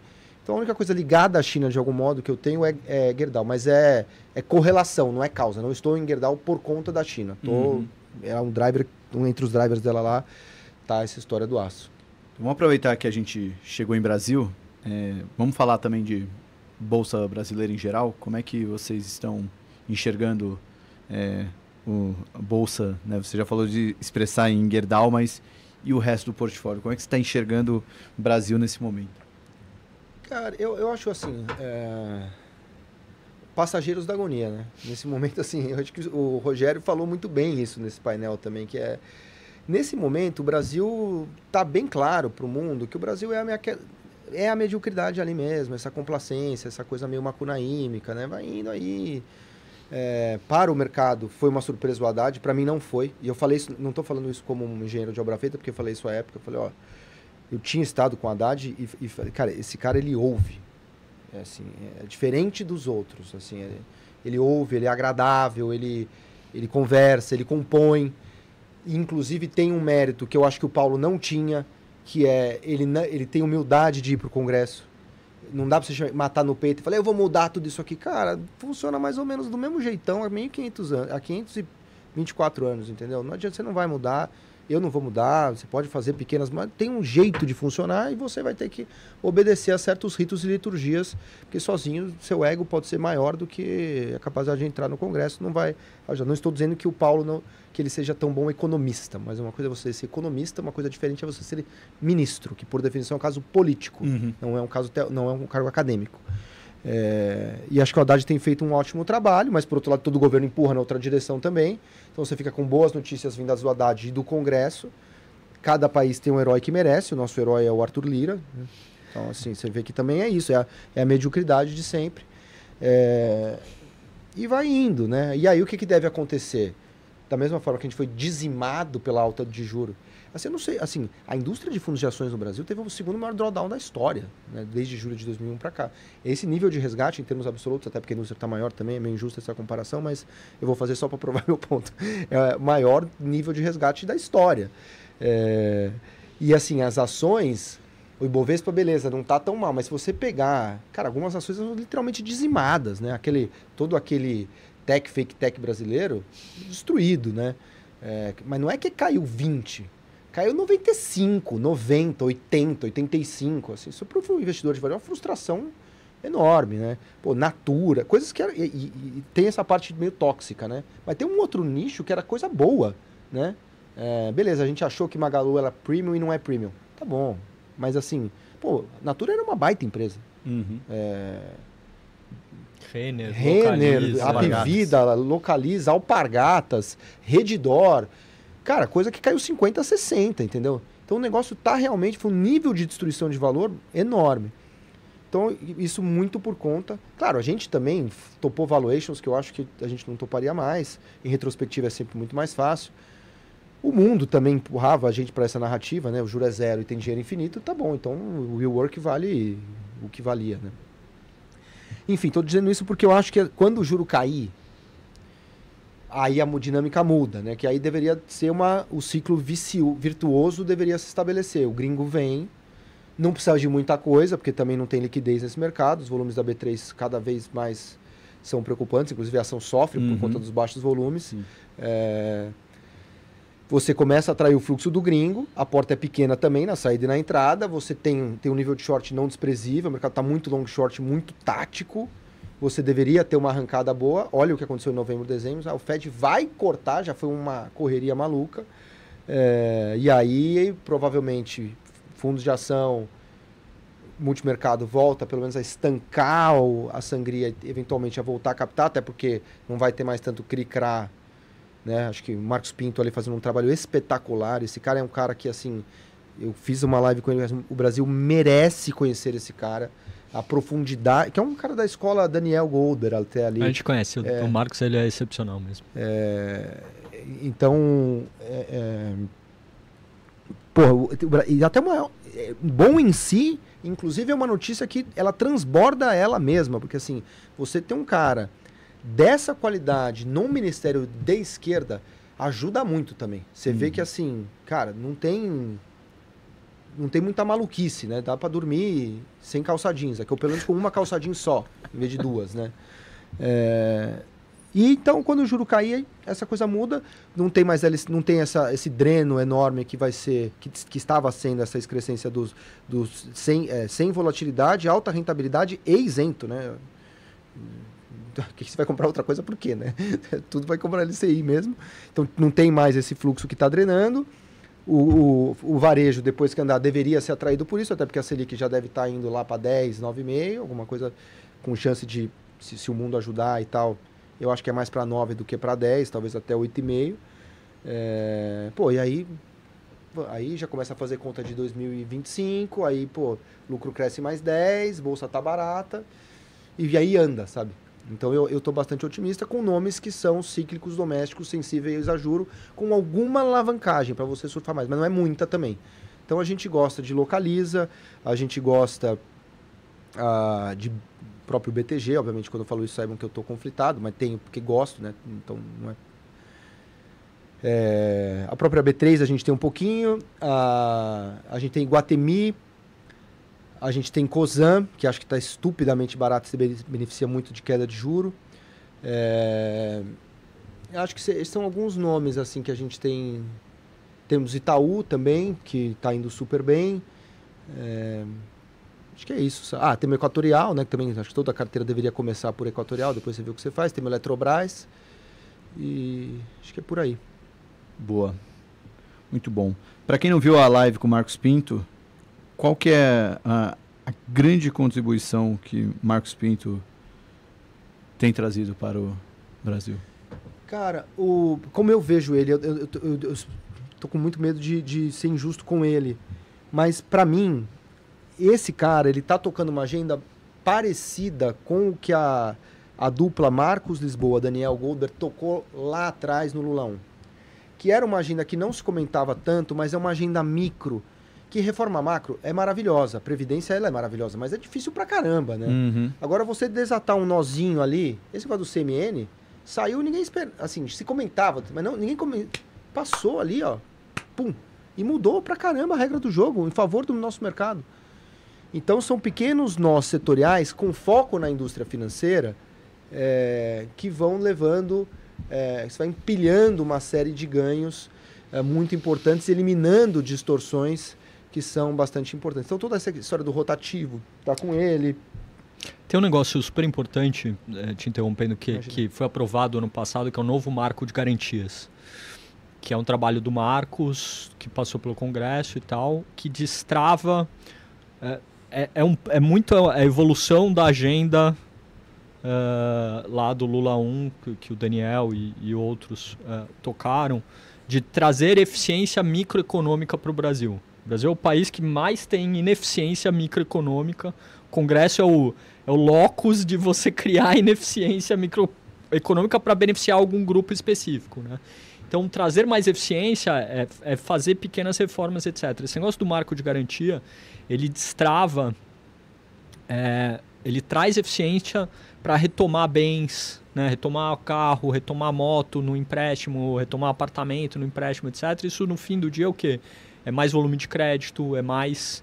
Uh, é taxas mais baixas, é um custo do crédito agregado mais baixo. Esse é um negócio pequenininho que ninguém fala. Óbvio, aqui pra gente o negócio do LCI, LCA, etc. é super importante porque a indústria estava sendo destruída por, por uma ineficiência tributária né, que foi criada e concedida para um certo grupo de pessoas e depois completamente abusada. Mas é, eu acho que da perspectiva do país e do crescimento, inclusive de 2024, você fala com os bancos, né? Uh, tem aceleração de crédito para esse ano que acontece em parte porque se aprovou um novo marco de garantias. Tá? E ninguém fala disso.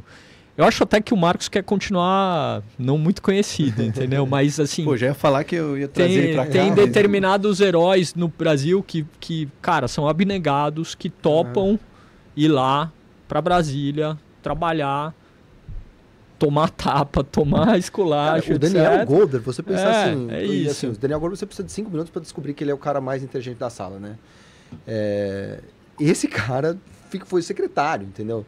É, então é isso, né? Um herói, assim. É isso. Né? Então é, o Marcos é um, é um desses caras realmente e, e, e, esse negócio do marco de garantias, por exemplo, a gente vai ver daqui a pouco. Cada vez mais os bancos vão falar disso. Né? Uhum. A gente já em conversas com alguns dos bancos grandes já apareceu esse tema como um fator que vai ajudar o crédito esse ano no Brasil.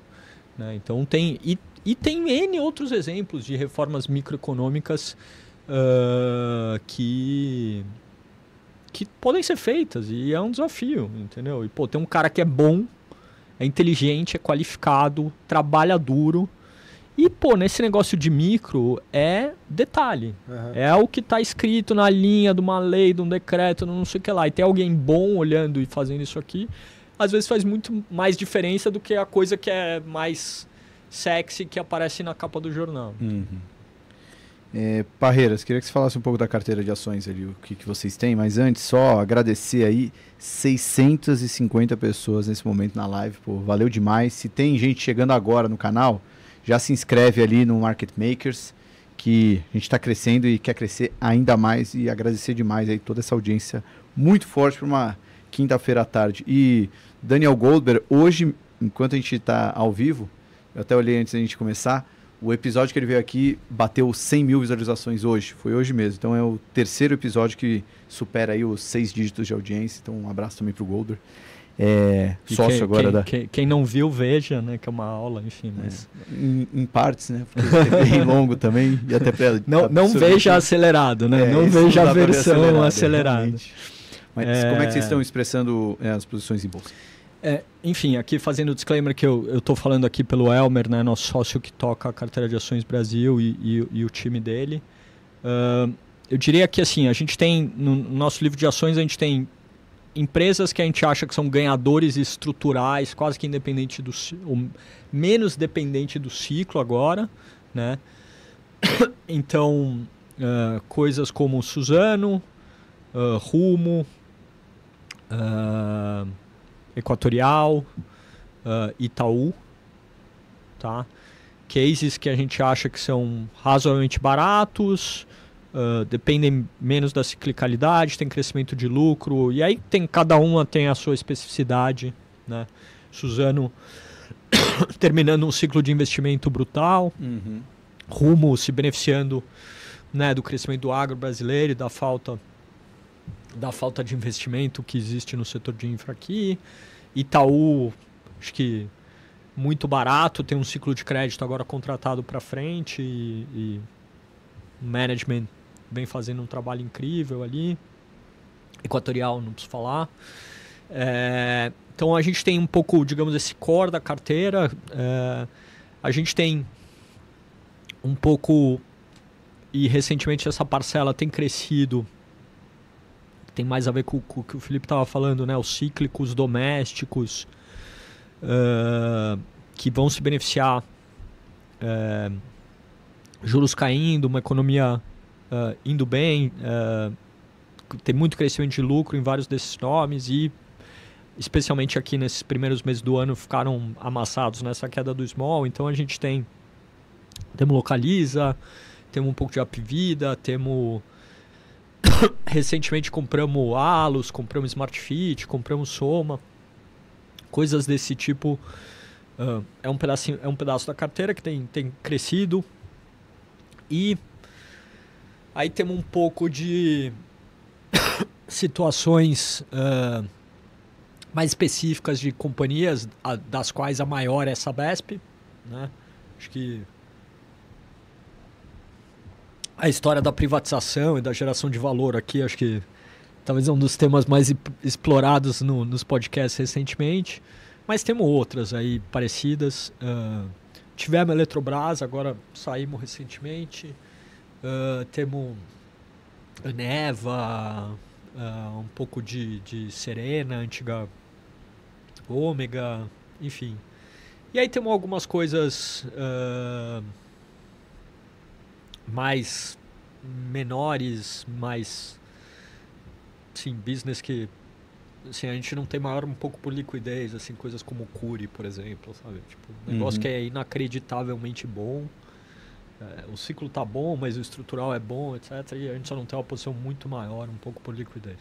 A gente tem direcional também, falando disso. E tem, o, falando de soma, a gente tem Arezo também, que agora está andando. Bom, junto, agora né? é a mesma coisa. Boa, muito bom, muito bom. É, pessoal, agora queria abordar um, um, pouco de carreiras também, aproveitar, né, acho que vale a pena o, o Filipão dar um recado também, né, que, do MBA que uh, a Empíricos, a gente está participando junto dessa essa super formação de analistas de ações. Eu queria que vocês falassem um pouco da experiência de vocês dentro do mercado. Né? Eu acho que até a, a escolha do Parreiras aqui, até como um, é um caso pouco comum né, de alguém que começou na empresa que está até hoje, é um dos principais sócios ali dentro. É, começou como analista de ações, né? então acho que vale a pena contar um pouco da sua experiência. Mas, Felipão, queria que você contasse um pouco né, desse, é, essa formação de analistas que, que a gente está lançando? Cara, eu tenho uma, uma fase da minha vida, né? Eu fui fazer economia porque eu queria trabalhar em banco com meu pai, né? Essa era a ideia. Aí eu fui ser, no primeiro ano de faculdade, é, fazendo economia na USP, aí me chamaram para fazer estágio no Deutsche Bank, que foi horroroso. Mas assim, mas não, eu, eu era incapaz de me adaptar àquele ambiente extremamente competitivo, muito tóxico, assim, e eu eu sou muito sensível, assim, de as pessoas se xingavam e era normal para elas, assim, para mim não era, aquilo me afetava. E aí eu desisti completamente, falei, ah, vou seguir, só que eu tinha nota boa, eu falei, então eu vou seguir carreira acadêmica. Então assim, acabou esse sonho de ser igual meu pai. Vou seguir carreira acadêmica, fazer mestrado lá fora. Então, mas aí meu pai quebrou, mas quebrou assim num nível que não dava. Aí o sonho de seguir carreira acadêmica foi abortado. E o eu tinha um amigo que. Eu falei, cara, não sei o que vou fazer agora. E um amigo meu falou assim, cara, você tá sem fazer nada aí por enquanto? Vai lá trabalhar na Infomoney, que você pelo menos ganha um dinheiro e ajuda na sua casa. Eu falei, ah, beleza, vou lá na Infomoney. E, cara, era Infomoney de 2003, né? Então, assim, era muito ruim. E aí eu cheguei lá, eu já comprava ação desde 13 anos, acompanhando meu pai ali. Né, eu não sabia nada, mas, eu, assim, na Infomoney eu sabia alguma coisa. Então eu comecei a crescer muito rápido ali e e aí fiquei meio responsável ali pela, pela. Mas sempre quis fazer análise de ações. E ia iniciar, e a Empíricos veio daí. Eu ia fazer um projeto de análise de ações para o Bradesco, que tinha rompido o contrato com a Lopes Filho. Mas uhum. minha, já tinha CNPI, tá não, fazer. Uh, e comecei a olhar aquela Lopes Filho e falei, nossa, isso aqui é muito ruim também. Quem precisa montar um research independente no Brasil vai ganhar dinheiro. Então eu comecei de fato a minha trajetória como analista de ações. Eu sou, desde come, comecei a comprar ações com 13 anos de idade, lendo Buffett. Quando eu falo que estava em 97, eu estava com 12, né? Estava é, lendo a, a, a, as cartas da Verde, pô, as cartas da Fama, as cartas da Scopus, da, da, da Dynamo. Então, aquilo fazia parte da minha formação. E aí, e aí fundamos a Empíricos, mas sempre ficou um pouco, né? Aí fui fazer, já tinha feito mestrado também e tal, ficou esse sonho do acadêmico de alguma maneira. E aí a gente tem dois problemas hoje. Primeiro que o, o sei lá, dois, pelo menos dois, né? Mas são muitos problemas, porque primeiro a indústria financeira paga bem e precisa de gente boa para contratar. Tem 700 vagas de analistas hoje no LinkedIn a serem preenchidas, de verdade, sim. Então é muita coisa que precisa ser preenchida. Aí você olha, pô, como é que vai formar essas pessoas? Eu fiz economia na USP, fiz mestrado em finanças na GV, estudei em Vale Invest em Colômbia, fui fazer o curso lá de gestão de risco com o Taleb em Nova York. Cara, a, a, o apelo prático para se comprar ações no Brasil é zero. É zero. Assim, o que eu aprendi de, de finanças na faculdade é uma vergonha. Eu tive uma aula de finanças, que o cara que virou meu orientador, que é o Marcos Eugênio da Silva, é, que era uma aula de derivativos ainda. Não tinha aula de bolsa. Eu passei a faculdade inteira de economia sem aprender uma linha sobre bolsa. E aí você fala assim, ah, então são os caras da praia. E os MBAs, né, hoje? Cara, o MBA está sendo dado por quem nunca fez MBA.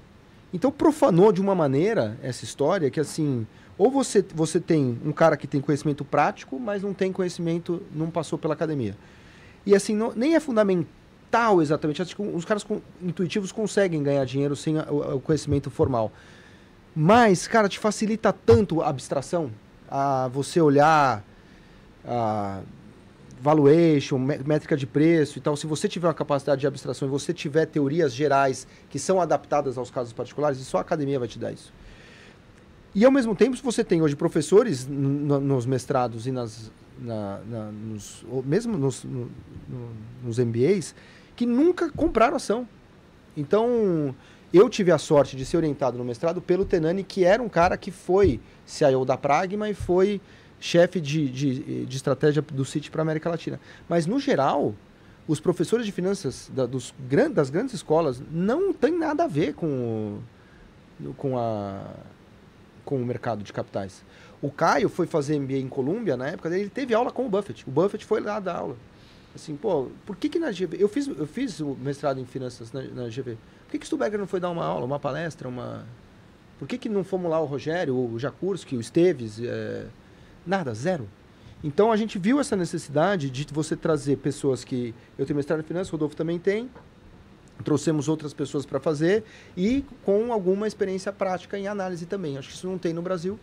E foi isso que a, a, ideia que a gente teve de tentar ajudar essas pessoas que de alguma maneira estão interessadas em preencher essas 700 vagas aí. E estamos lançando juntos com a sua ajuda. Inclusive, te agradeço por você tá, ter abraçado esse projeto. E estou muito animado, muito felizes. Boa.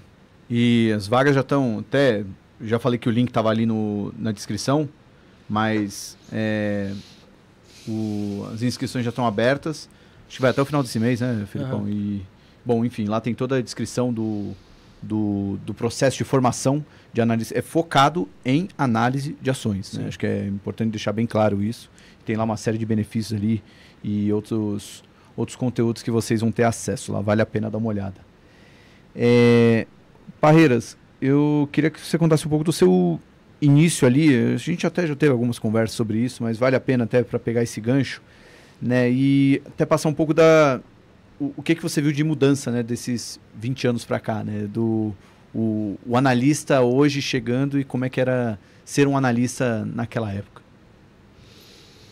Nossa, é... eu acho que o mundo mudou de uma maneira brutal nesses últimos 20 anos em termos de acesso à informação. Isso aqui que a gente está fazendo não existia. É... Então, os primeiros relatórios que eu li foram da Lopes Filho. Eu fiquei saudosista na hora que você falou esse nome, que fazia tempo que eu não ouvia. É... Então, você não tinha informação. Nenhuma. Nenhuma. É... Você tem informação das empresas, você precisava ligar no RI e tentar destrinchar. E, o, o RI também não queria te dar nenhuma atenção, entendeu? Então, não tinha, não tinha informação nenhuma. A gente foi dar... Da...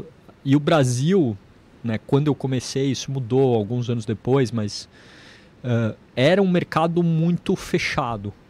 Né? Uh, o mercado aqui era, era autocentrado, só se preocupava com o que acontecia aqui dentro. E era irrelevante, as pessoas nem sabiam o que estava acontecendo lá fora direito. Assim, dava um, um, problema na China, chegava, de repente a Vale começava a cair, todo mundo ficava Tipo, meu, o que, que tá acontecendo, entendeu? Um mês depois, não, deu uma merda lá na China.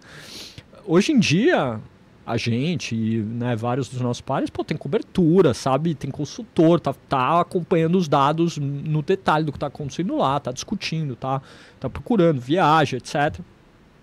Tem, segue o cara no Twitter, segue não sei quem, não sei aonde, lê relatório, fala com as pessoas. Então, acho que esse negócio da informação mudou muito.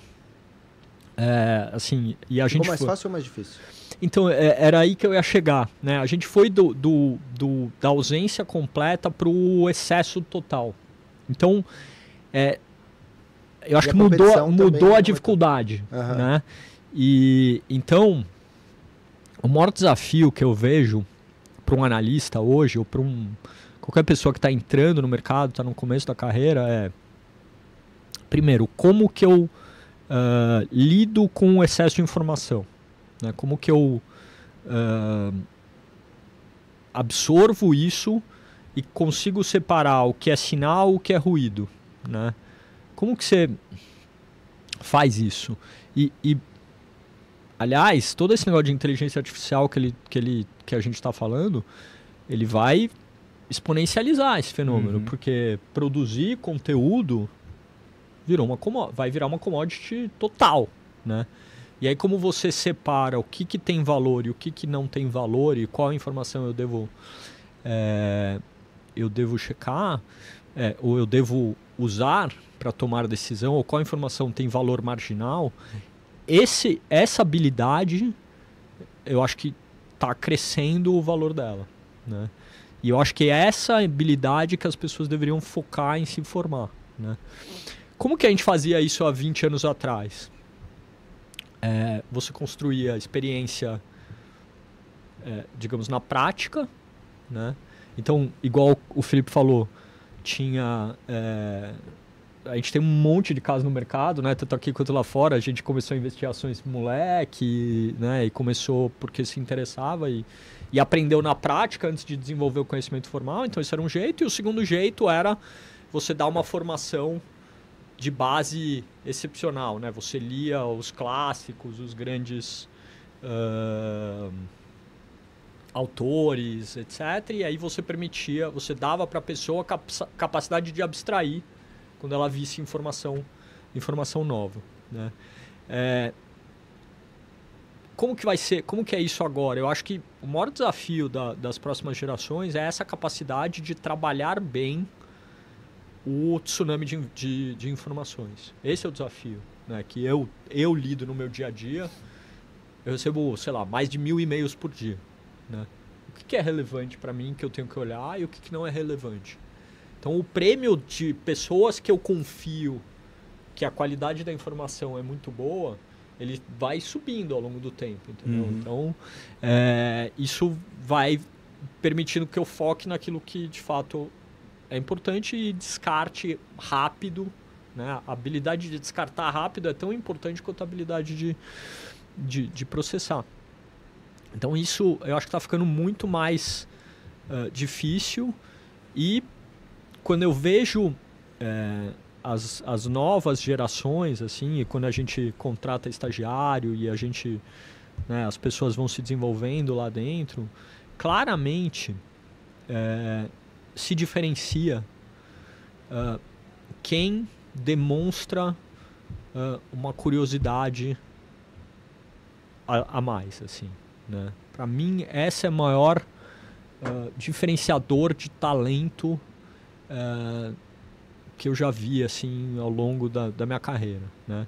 É que é aquele cara que ele quer saber a mais, ele, ele quer ah, aprender uma coisa diferente, ele quer fazer uma pergunta adicional, ele vai lá e, e, e fala com um cara que, que as outras pessoas estão com vergonha de falar, etc. Uhum. Entendeu? Então, é, esse, esse valor ah, ele acho que está ficando cada vez mais, mais óbvio porque nessa geração que não tem paciência para nada, não tem, né, não, não quer ler um livro grande porque não tá no, né, vai pegar e resumir tudo, todas as coisas vão ser resumos de chat GPT, etc, né? É, a pessoa que souber ir além disso, eu acho que vai ter um mega diferencial, entendeu? Então, é, quem pô, for lá e de fato ler os livros do Buffett, do, do Graham, as cartas e tudo isso, pô, você pode entrar no ChatGPT e falar, cara, me resume o pensamento do Buffett sobre contabilidade de utilities. Meu, vai te cuspir um texto lindo, assim, sabe? Com conhecimento legal, mas assim, nada substitui você pegar hum, e ler as cartas lance, quando ele estava é. falando que, puto, o cara fez uma contabilidade criativa assim, assado, aí a depreciação, não sei o que lá, que EBITDA não serve para nada, não sei o que. Então, é, eu acho que tem um pouco disso, assim, e, e aí eu acho que o que falta na, é, é, um pouco no, no, talento em geral é, é um pouco esse, esse a mais, assim, a pessoa uhum. que vai além do, do script, entendeu? Eu vejo uh, os jovens muito bons em seguir scripts e razoavelmente fracos em sair, da, sair do script né? e, e, e complementar o script com alguma coisa diferente. No mundo da inteligência artificial, o prêmio para a criatividade é exponencial. Sim. E só vai ter criatividade ou você é gênio, né? E, e tem. Existem pessoas que têm sacadas totalmente fora da caixa. Mas, assim, eu não, eu não conheço nenhum método bom para tipo, olhar pro Felipe, você é gênio, você não é gênio não, não sei, entendeu? Isso é coisa que você meio descobre ex post. Então, isso sempre vai ter e sempre teve na história. Mas a, o, o valor adicional, assim, de, de ser um pouco criativo em relação àquele, a, a, a mesmice, entre aspas, produzida pelos algoritmos, é aí que está o, o, o, a grande oportunidade, entendeu? E eu acho que é, tentar construir isso nas pessoas, né? E de, de novo, tem técnica tal, mas assim, é com uh, habilidades mais generalistas do que especialistas, né? O mundo passou os últimos 50 anos se especializando cada vez mais, né?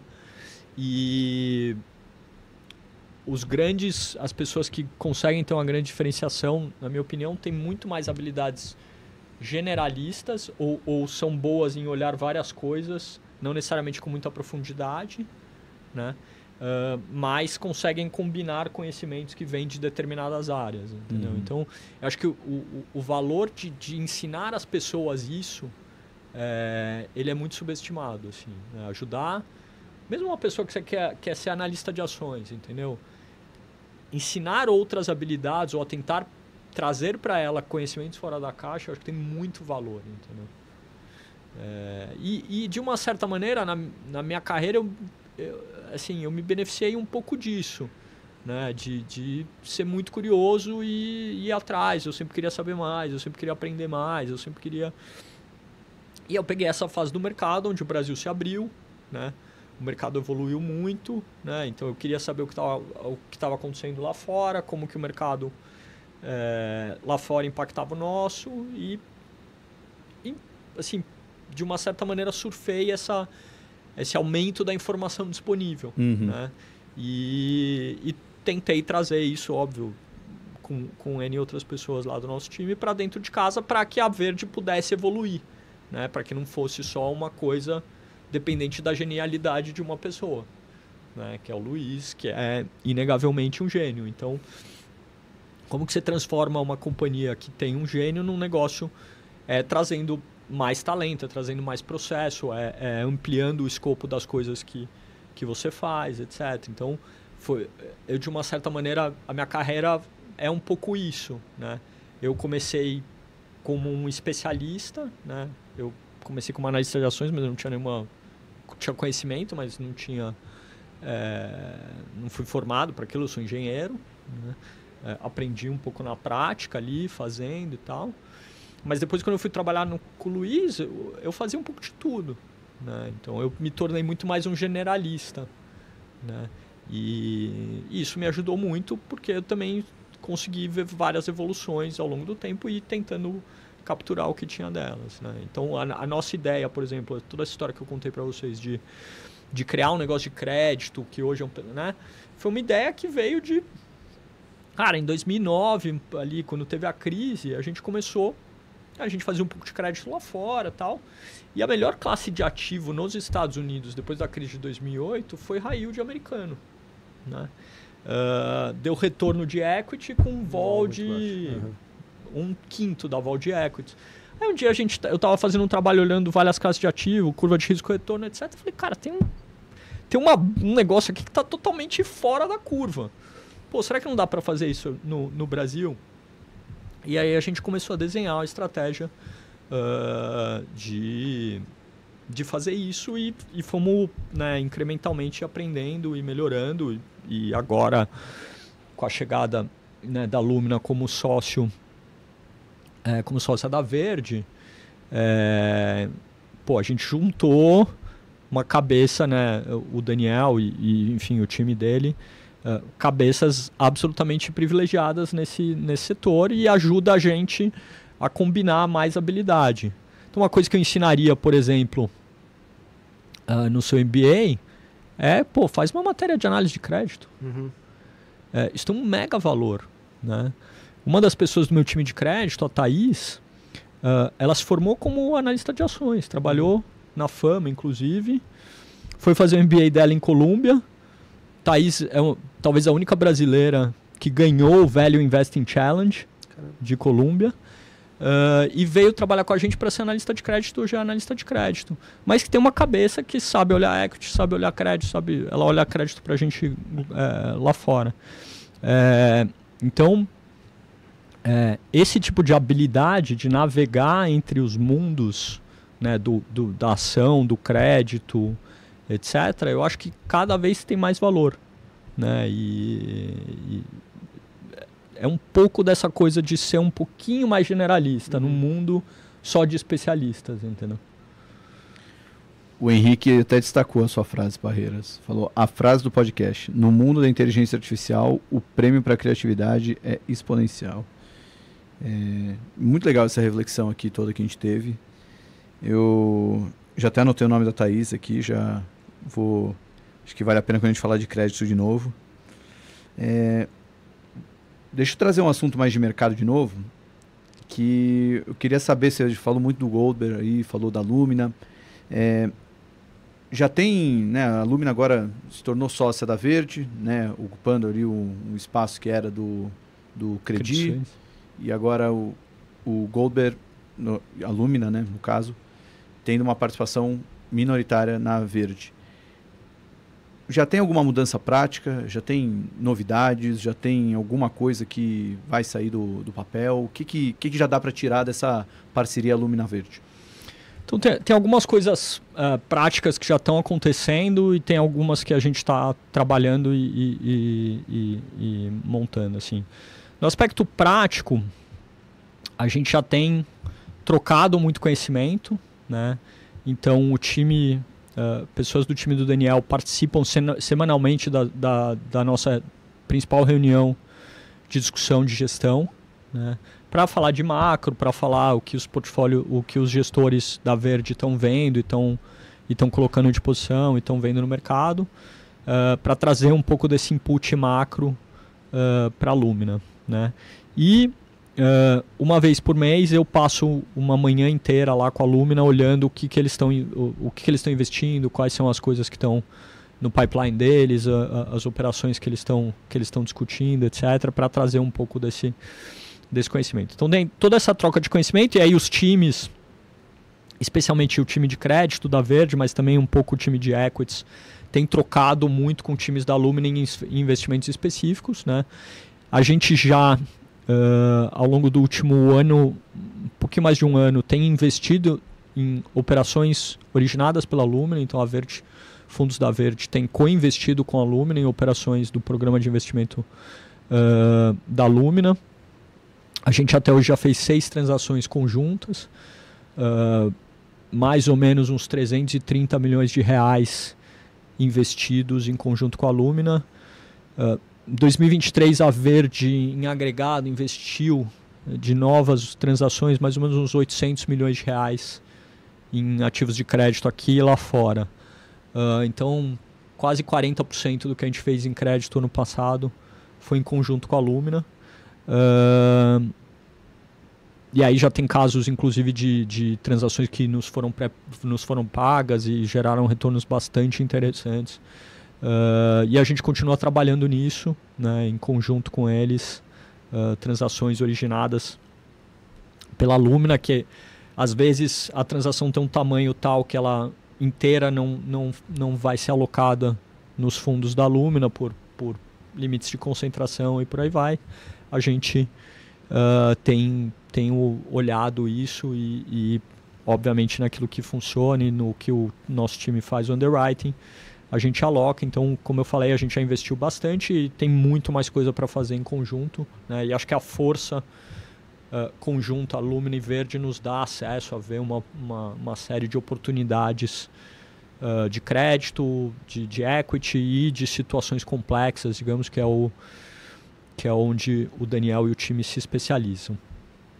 Uh, além disso, a gente, uh, muito em breve, inclusive em parceria com o BTG aqui inicialmente, a gente vai pegar esses 15% que eu comentei, né, que hoje é o livro de crédito que está ali dentro do verde, a gente vai transformar isso numa estratégia, num produto separado. Né? Até hoje isso sempre foi feito usando o capital dos nossos fundos multimercado e a gente vai ter um produto de crédito dedicado para essa estratégia que a gente construiu lá dentro da Verde e agora com, a, com colaboração e com investimento junto com a Lumina. Então esse produto vem a mercado uh, provavelmente aqui no fim de março, né, a gente vai ter um FDIC uh, para os clientes focado em, né, nesse tipo de crédito um pouco mais high yield que a gente vem desenvolvendo há muitos anos e agora com a colaboração da, da Lumina. Então isso está muito, muito pronto, assim, está tá terminando de sair do papel.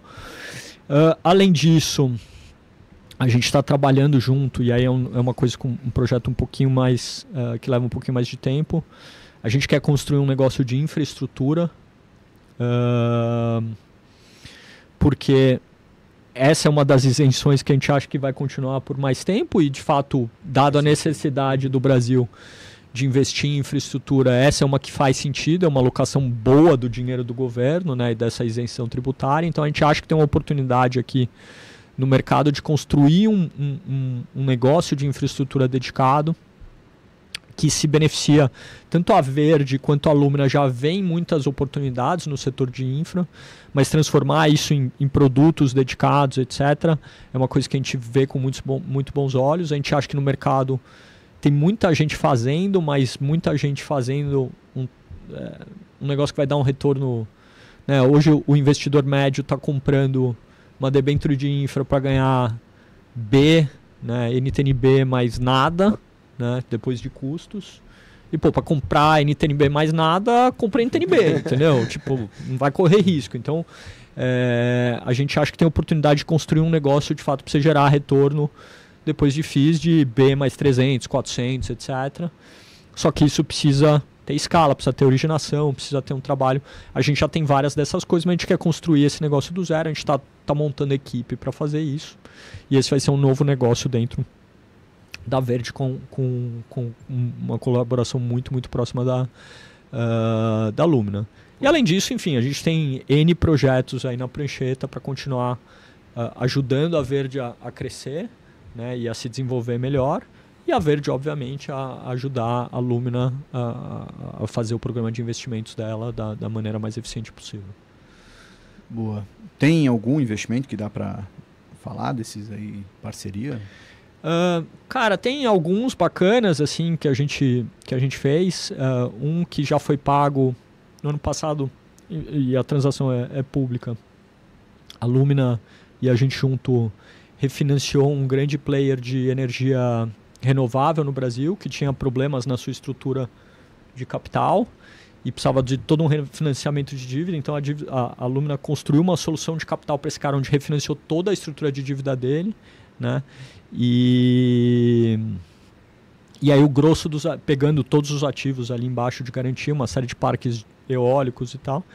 Uh, e aí essa, o grosso dos ativos foram vendidos no fim do ano passado para a Equinor, a, empresa de energia norueguesa, e, e essa transação foi pré-paga Né? A gente lá dentro de casa gerou um retorno, por exemplo, de CDI mais 9 uh, num, num, capital alocado até razoavelmente grande. Uhum. Recentemente, há duas semanas atrás, a gente liquidou aí a, a nossa transação mais recente com eles, onde a Lumina e a, a Verde com um pequeno pedaço do cheque.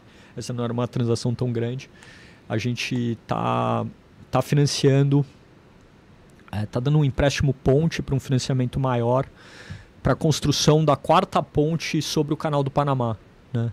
Uh, não sei quem já foi para o Panamá, mas tem lá o canal do Panamá e tem três pontes que passam por cima para né, dar fluxo ali todo, todo, toda a vida da, da, das pessoas no Panamá.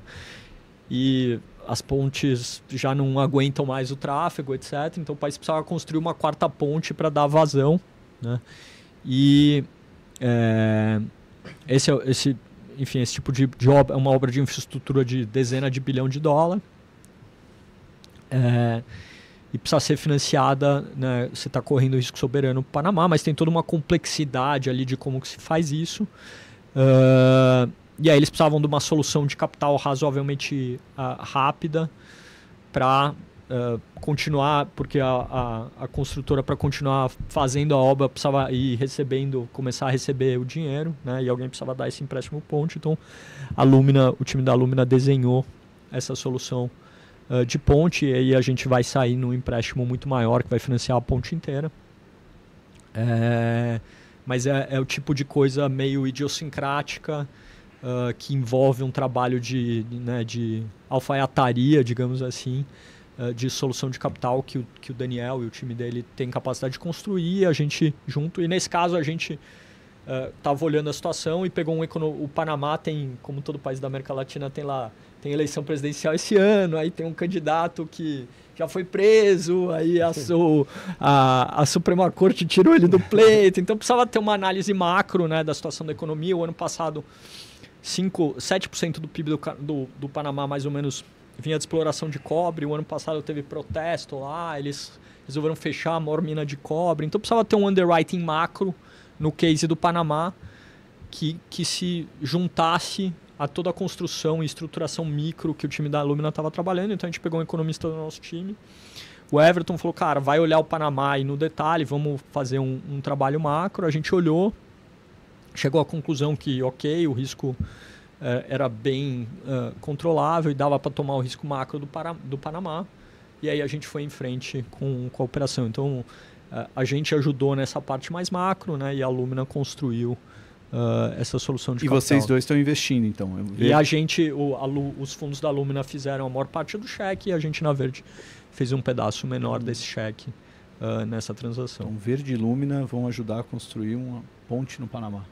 Pois é. Uma, uma bela manchete. Do mesmo jeito que a gente está ajudando a financiar uma outra transação que é pública, a gente está terminando, a gente está financiando uh, numa posição subordinada embaixo do BNDES uh, um terminal uh, de regasificação, que tem uma usina termoelétrica atrelada em Barcarena, no Pará.